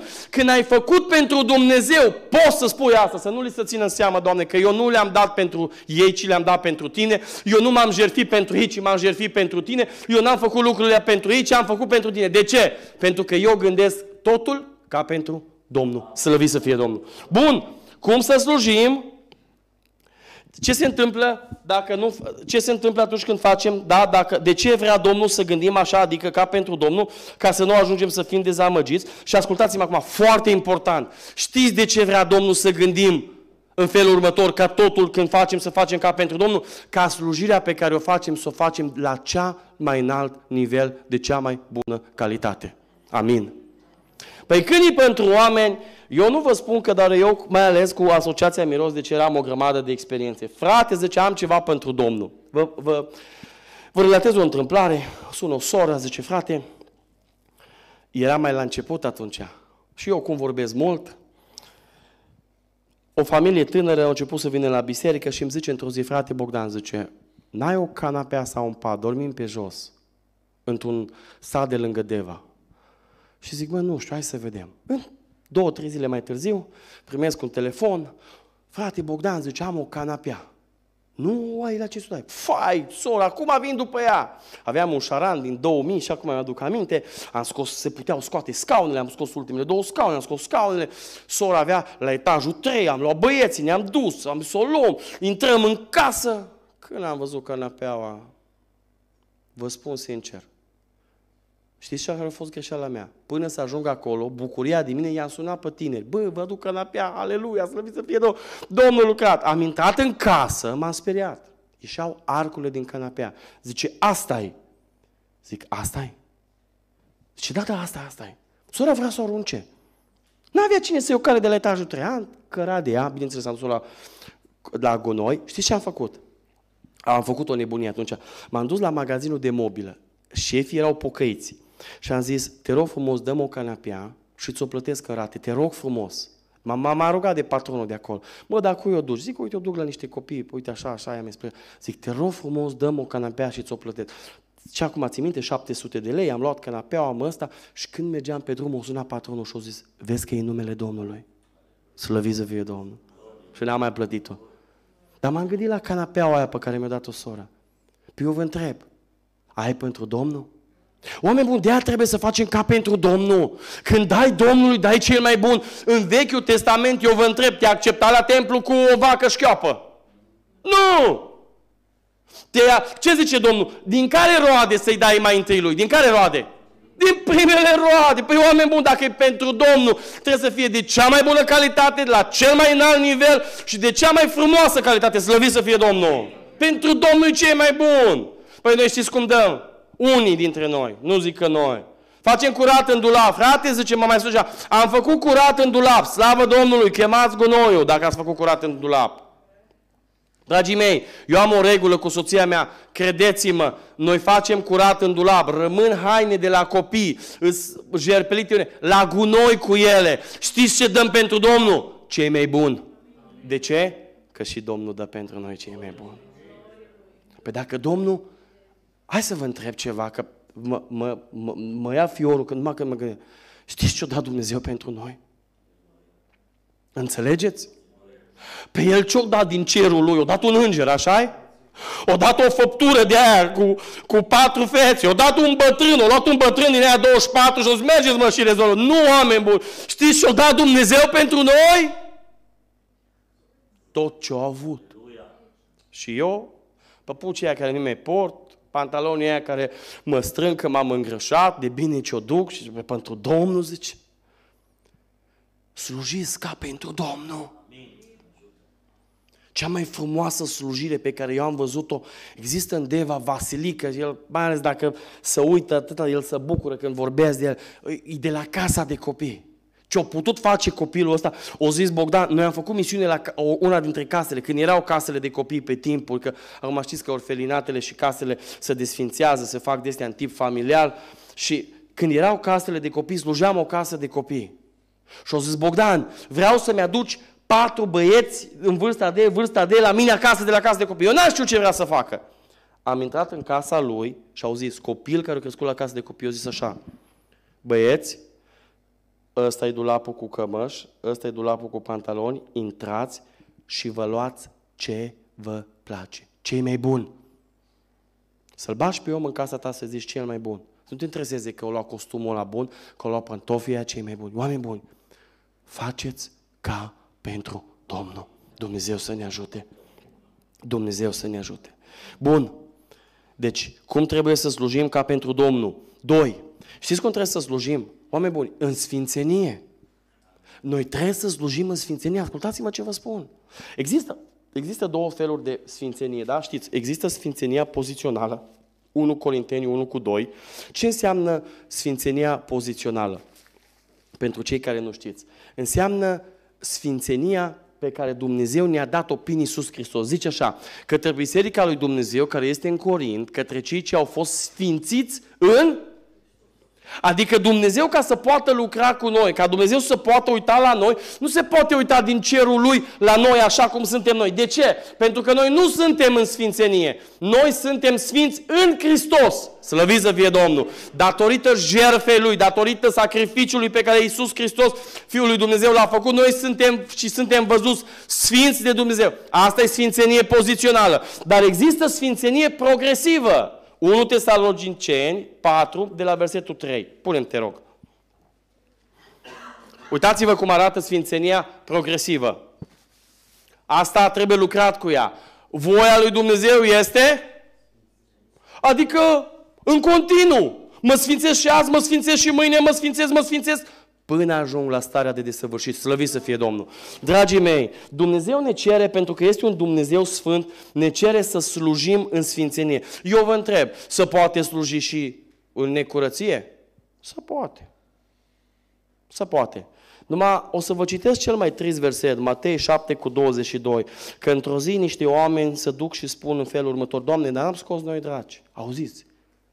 N-am prorocit noi, n-am făcut noi vindecări, n-am făcut predica noi, n-am fost noi la săraj, n-am măturat noi în adunare, n-am pregătit noi la frați, n-am făcut asta, n-am primit, n-am, n-am, n-am, n-am. Și Domnul, versetul 23, atunci le voi spune curat și ascultați, niciodată nu v-am cunoscut, depărtați-vă de la mine, voi toți care lucrați fără de lege. De ce? Pentru că Dumnezeu vrea să slujim în sfințenie. Doamne ajută-ne! Oameni buni, cine este născut din Dumnezeu nu păcătuiește. Cine este născut, așa spune Ioan, din Dumnezeu nu păcătuiește. Și acum vreau să vă explic ce înseamnă păcat și ce înseamnă greșeală. Voi știți că noi când ne rugăm și în Tatăl nostru ce și ne iartă nouă, greșelile noastre. Vă spun ce înseamnă greșeală. Greșeală înseamnă în momentul în care te împiedici și dintr-o dată trezești că ai făcut o prostie și spui, Doamne, iartă-mă! Am spus o minciună, am spus un, nu știu, un neadevăr, m-am mâniat, am făcut un lucru. Greșeala înseamnă orice fără de lege în care nu continui. Știți ce înseamnă păcatul? Când faci un lucru greșit, știi că e greșit și faci de bunăvoie. Adică minți și azi că vrei să minți, minți și mâine că vrei să minți, minți și poi mâine că vrei să minți și tu minți în continuu și trăiești într-o viață de minciună. E, astfel de atitudini Dumnezeu urăște. Tu slujești și în timpul slujirii, dintr-o dată te trezești că greșești cu ceva. Îți ceri iertare, Dumnezeu te iartă, mergi înainte, slăviți să fie Domnul. Dar când faci lucrurile intenționat, când tu trăiești zi de zi intenționat în greșeala respectivă, ăla se numește păcat. Și Biblia vine și spune că copiii lui Dumnezeu, născuți din Dumnezeu, ascultați-mă, nu mai trăiesc în păcat. Nu mai trăiesc în păcat. Dumnezeu să ne ajute. Dragii mei, o să vă arăt, punem te rog 1 Ioan 2 cu 15. Vreau să vă arăt foarte scurt trei domenii în care va trebui să vă rugați și să vă păziți ca să trăiți în sfințenie. Foarte scurt și trecem la următorul punct. Nu iubiți lumea, nici lucrurile din lume. Dacă iubește cineva lumea, dragostea Tatălui nu este în el. Și următorul verset. Căci tot, și mai repet o dată, căci tot ce este în lume. Și acum ascultați. Pofta firii pământești, pofta ochilor și lăudăroșenia vieții. Biblia împarte păcatele astea în trei mari categorii și o să vă spun foarte repede. Zice, pofta firii pământești se referă la păcatul curviei. Pofta ochilor se referă la păcatul mândriei. Și lăudoroșenia vieții se numește, uh, uh, scuzați-mă, pofta ochilor se referă la păcatul lăcomiei și lăudoroșenia vieții la păcatul mândriei. Țineți minte, vă rog frumos, păcatele cu care diavolul va ispiti orice credincios, orice slujitor. Noi toți suntem slujitori împreună cu Dumnezeu. Orice slujitor. Mândrie, curvie și lăcomie. Oameni buni, rugați-vă pentru asta. Uh, am mers la un, uh, o întâlnire de post și rugăciune. Erau vreo 25 de păstori din ăștia tineri de prin România. Acum, păstorii pe care dumneavoastră îi ascultați, evangeliștii pe care îi ascultați și acolo stând toți, eu le pun o întrebare, zic, bă, fraților, zic, voi ce faceți când sunteți lacomi? S-a uitat unul la mine și a zis, bă, și vă spun sincer, eu m-am supărat. Și zis, bă, uite-te în ochii mei și spune că niciodată tu n-ai fost lacom. Spunem că n-ai probleme cu lăcomia. Păi și atunci, de ce te dai altcineva? Oameni buni, toți avem probleme cu lăcomia. Știți ce trebuie să facem? Să luptăm împotriva ei. În numele Domnului este biruință. Lăcomia vine, diavolul ne ispitește, firea pământească își dorește. În numele Domnului punem la pământ, o călcăm în picioare și mergem înainte. Spuneți-mi cineva care n-are, care n-are probleme cu mândria. Frate, eu nu. Ha, serios, mă. Băi, oameni buni, ne rugăm pentru ea și în numele Domnului alegem să rămânem smeriți. Spuneți-mi, vă rog frumos, că înainte ziceau că numai bărbații au probleme cu curvia. Acum, uitați-vă, 50-50%. Citim studiile, e la fel. Care nu are probleme? Care nu a fost ispitit? În numele Domnului ne rugăm, ne uităm la cer și nu acceptăm păcatul ăsta în viața noastră. Slăvit să fie Domnul. Nu că n-ai probleme, nu că nu vine, nu că nu ești atacat. Hai să nu facem, noi nu avem treabă. Ba da, toți avem treabă. De ce? Că diavolul ne ispitește pe toți cu păcatele astea. Dar vă spun ceva, în numele Domnului Isus Hristos putem trăi în sfințenie. Slăvit să fie Domnul. Cum să slujim pentru Domnul? În sfințenie. Cum să slujim pentru Domnul? Punem, te rog, 1 Corinteni 3 cu 9. În unitate, în echipă. Frați și surori, vreau să vă spun ceva, că aici vreau să atrag atenția. Zice Biblia acolo, în felul următor. Noi suntem, și ascultați-mă acum, cum suntem? Împreună. Lucrători cu Dumnezeu. Noi suntem împreună. Oameni buni, noi toți formăm trupul Domnului Isus Hristos. Sunteți de acord? Slăviți să fie Domnul. Fiecare dintre noi are, are darul lui. Dar vă spun ceva. Noi trebuie să slujim în unitate. Știți că diavolul se luptă să desfacă unitatea dintre noi? Știți că diavolul se va lupta să ne despartă, să ne pună pe unii într-o parte, pe alții într-o parte, să facă dezminare între noi și va acționa pe două moduri. Există influența diavolului pe care diavolul exercită asupra noastră ca și trup, ca și echipă, din exterior și de atunci din exterior biruiește mai greu.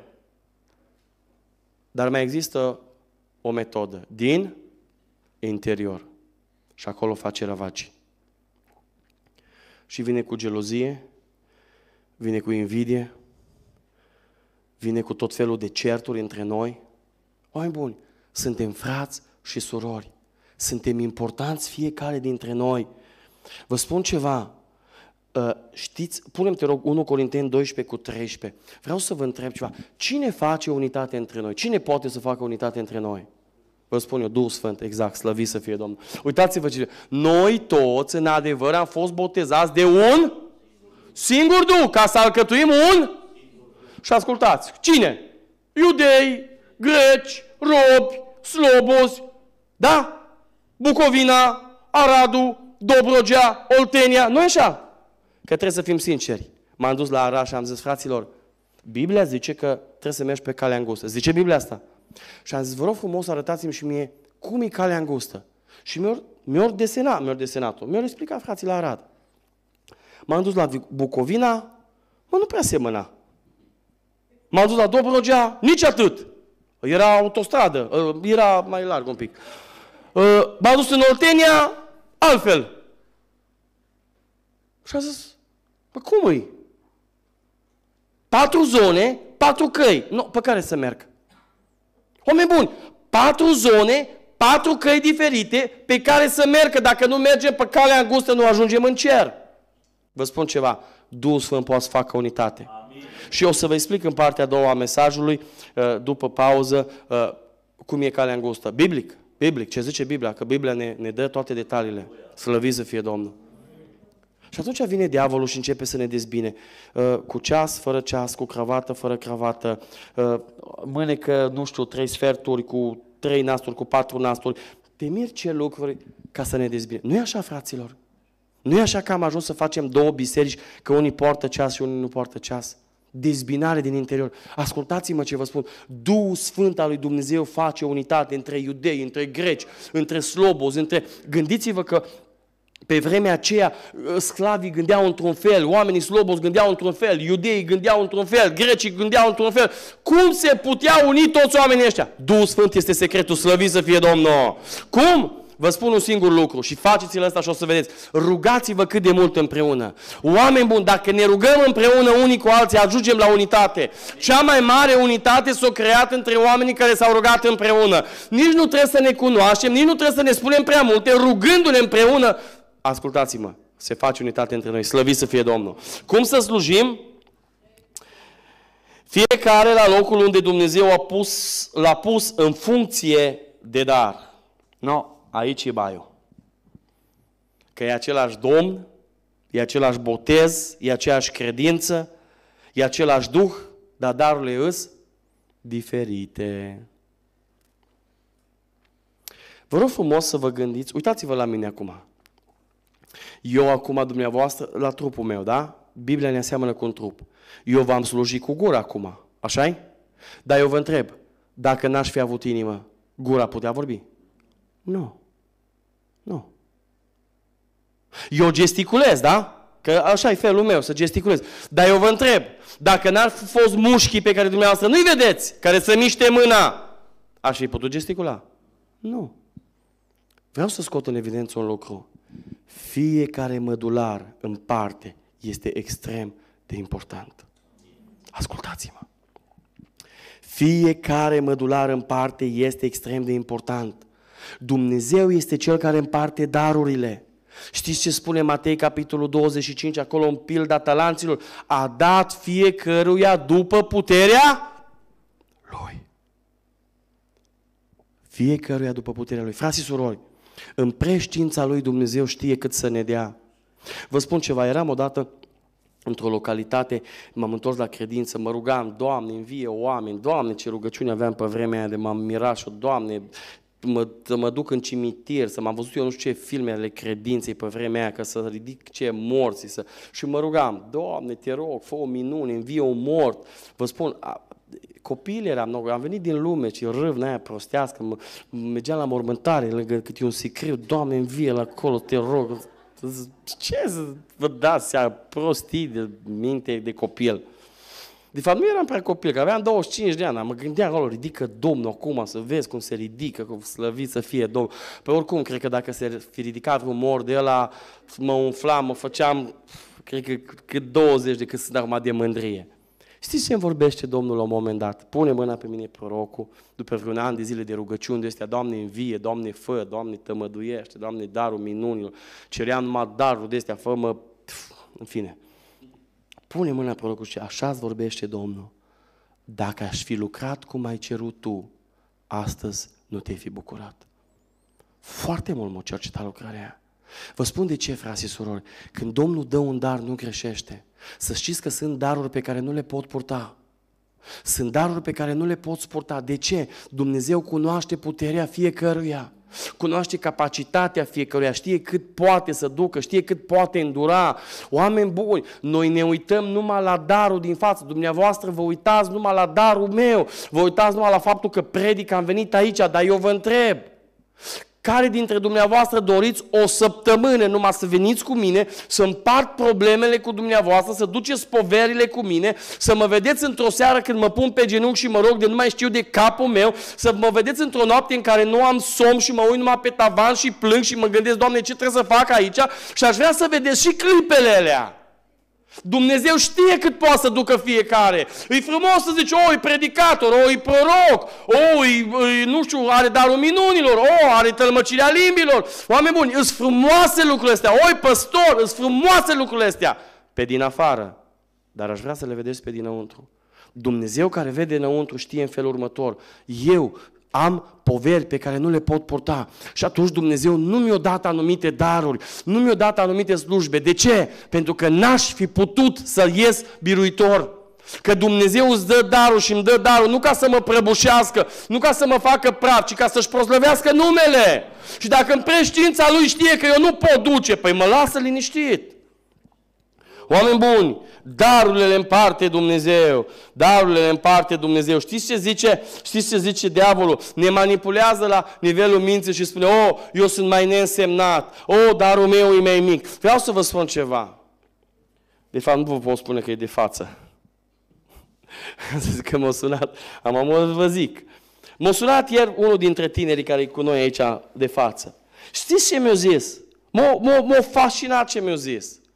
O zis să știi că mă rog pentru tine. Eu vă întreb. Eu sunt conștient de asta. Știți că de multe ori am ungere pentru că nu că m-am rugat eu, ci că alții s-au rugat pentru mine. Punem te rog frumos Efeseni, capitolul 6 de la versetul 18. Vreau să vă arăt ceva. Punem te rog asta. Uitați-vă ce zice Efeseni 6 de la 18. Faceți în toată vremea, prin Duhul, tot felul de rugăciuni și cere. Vegheați la aceasta cu toată stăruința și rugăciunea pentru toți sfinții. Și ascultați acum următorul verset. Și pentru ca ori de câte ori îmi deschid gura să mi se dea? Oameni buni! Păi nu putea să spună Pavel, păi eu am dar de predicare. N-am nevoie de nicio rugăciune, n-am nevoie de nimic, eu pot predica, sunt un bun orator, am cuvintele la mine, stăpânesc limba greacă, pe cine e ca mine? Nu! O zis Pavel, în trupul Domnului Isus Hristos, ăla care se roagă e foarte important. De ce? Că dacă oamenii nu s-au rugat, nu-i har în adunare. Că harul nu-l aduce cineva, că harul nu-l fabrică cineva, că harul nu-l dă cineva. Harul vine pentru că Sfinții lui Dumnezeu se roagă, slăvit să fie Domnul. Oameni buni și o să vină diavolul și o să zică, da mă bine, tu numai te rogi, ăsta e dar, tu ar fi trebuit să fii pe scenă, ar trebui să fii acolo. Oameni buni, nu vă puteți da seama ce important este darul ăsta. Să poți să mijlocești pentru sfinți, slăvit să fie Domnul. Toți suntem importanți. Uitați-vă la un trup, eu știu că se vede mâna, se vede ochiul, dar eu vă întreb, stomacul nu e important, inima nu e importantă, plămânii nu sunt importanți, ba da, dacă plămânii s-ar supăra într-o zi, gândiți-vă și ar spune, oh, bine, ok, gata, nu, nu mă văd, nu suntem și noi băgați în seamă, nu mai gata, de mâine nu mai respirăm. Ce s-ar întâmpla? Tot trupul ar, ar muri. De aia spune Pavel în Corinteni, capitolul 12, când un mădular suferă, toate! De ce? Păi eu vă întreb. Când mă lovesc la un deget, ăsta micu, pot fi linii... Ia gândiți-vă la altceva. Când ne doare câte un dinte. De ce nu zice, oh, no, dintele cu treaba lui, lasă-mă tu, doar, că eu n-am treabă cu dintele. Țin gura închisă și să fii vesel. Poți fi vesel când te doare dintele? Poți fi vesel când te doare capul? Nu. Frații surori, așa ar trebui să fie trupul. Așa ar trebui să fie trupul. Când un mădular suferă, când un frate are o problemă, ar trebui să mă doară, ar trebui să te doară. Vreau să înțelegem lucrul acesta, că toți suntem importanți și toți avem slujbe extraordinar de bine. Vă spun ceva, am auzit toată la un prieten de-a meu, la un păstor, un prieten de-a meu, uh, e, e pasionat de alpinism și o citit o chestie interesantă. Nu mai știu exact cum îl cheamă pe alpinistul ăsta, dar foarte multe vârfuri au cucerit. S-a concentrat foarte mult pe orice altceva, dar nu pe laba piciorului. Și la un moment dat, din cauza că nu au avut bocanci adecvați, i-a degerat piciorul și a trebuit să-i taie degetul mic de la piciorul stâng. Degetul mic de la piciorul stâng. Oameni buni, pentru că nu mai a avut degetul mic, de la piciorul stâng, nu-și mai putea ține echilibru cum trebuie și nu a mai putut profesa în alpinism niciodată. O zis că o încerca de câteva ori să mai escaladeze anumiți munți și din faptul că nu avea degetul ăla mic, nu-și putea ține echilibru. Și am stat și m-am gândit, degetul mic de la piciorul stâng, cine dă importanță? Nimeni! Nu mai putut face performanță, nu mai putut urca pe munte, nu mai putut ajunge în vârf, că lipsea un deget mic. Asta vrea Dumnezeu să ne învețe. Că la micu pe care noi, ca oameni, poate îl vedem atât de neînsemnat, e așa de important în trupul Domnului Isus Hristos. Și încheiem, frații mei, cu a șasea întrebare, asta e foarte scurtă. Am, am prima parte, da. Cine cheamă la slujire? Cine este modelul? Ce înseamnă a sluji? Câte feluri de slujire sunt? Cum trebuie să slujim? Și ultima parte îi, de ce să slujim? De ce să slujim? Ioan capitolul 21, nu pune că îi tot pasajul, nu-l mai citim. Ioan capitolul 21, Domnul Iisus Hristos se duce pe țărm și stă de vorbă cu Petru. Știți ce îl întreabă pe Petru înainte să-i spună paște oițele, mielușei și oile mele? Știți ce îl întreabă pe Petru? Pe, mă iubești tu pe mine? Frații și surori, de ce trebuie să slujim în primul și în primul rând? Ziceți voi, pentru că îl iubim pe Domnul. Nici nu vreau să intru aici în detalii, nici nu vreau să vă spun mai multe. De ce trebuie să slujim? În primul și în primul rând, frații mei, pentru că îl iubim pe Domnul. Vă spun ceva, iubirea din pieptul meu față de Dumnezeu nu mă va putea opri în slujirea mea pe pământul acesta. O să fac tot ce îmi stă în putință să-L slujesc pe Dumnezeu. Pentru că inima mea bate pentru Domnul. Uitați-vă când e vorba de iubire, treci peste orice. Vreau să vă întreb, majoritatea dintre dumneavoastră sunteți căsătoriți, aveți copii. Când avem probleme cu câte un copil, când e bolnav, când... Vreau să vă întreb, îi vreunul dintre noi nepăstori, nu lasă-mă că n-ai nimic, du-te acolo, stai nici. Te doare, te duci. Tu a doua zi trebuie să mergi la lucru, dar știi ce faci? Îl legeni. Tu a doua zi trebuie să fii la lucru. Ce faci? Îi dai cu lingurița medicamente, îl ungi, îl faci, stai lângă el, lângă pat. De ce? Că îl iubești. De ce îl slujești pe copil? Că îl iubești. De ce îl slujești pe Domnul? Că îl iubești. Slăvi să fie Domnul. De ce să slujim pe Domnul și închei cu ăsta? Apocalipsa 22 cu 12. Punem, te rog, versetul ăsta. Și asta o să fie ultimul lucru care îl citim și apoi luăm pauză. De ce să slujim pe Domnul? Iată, eu viu curând și... Știți de ce trebuie să-L slujim? Pentru că într-o zi, faptele bune pe care El ni le-a pregătit ca noi să călcăm în ele, ne vor aduce o răsplată. Frații și surori, închei spunându-vă atât. Oricum viața pe pământul ăsta e cum e, așa Că până la urmă, dacă tragi linie și eu și dumneavoastră, putem să spunem exact ce a spus împăratul Solomon. Totul e deșertăciune, nu e așa? Totul e deșertăciune. Eu vă întreb, nu se merită să ne pregătim răsplata sau să ne pregătim locul pentru viața de dincolo? Domnul a pregătit locul, dar răsplata în funcție de faptele bune pe care tot El le pregătește, ca eu și cu tine să umblu în ele. De ce să slujești? Că Domnul va aduce o răsplată.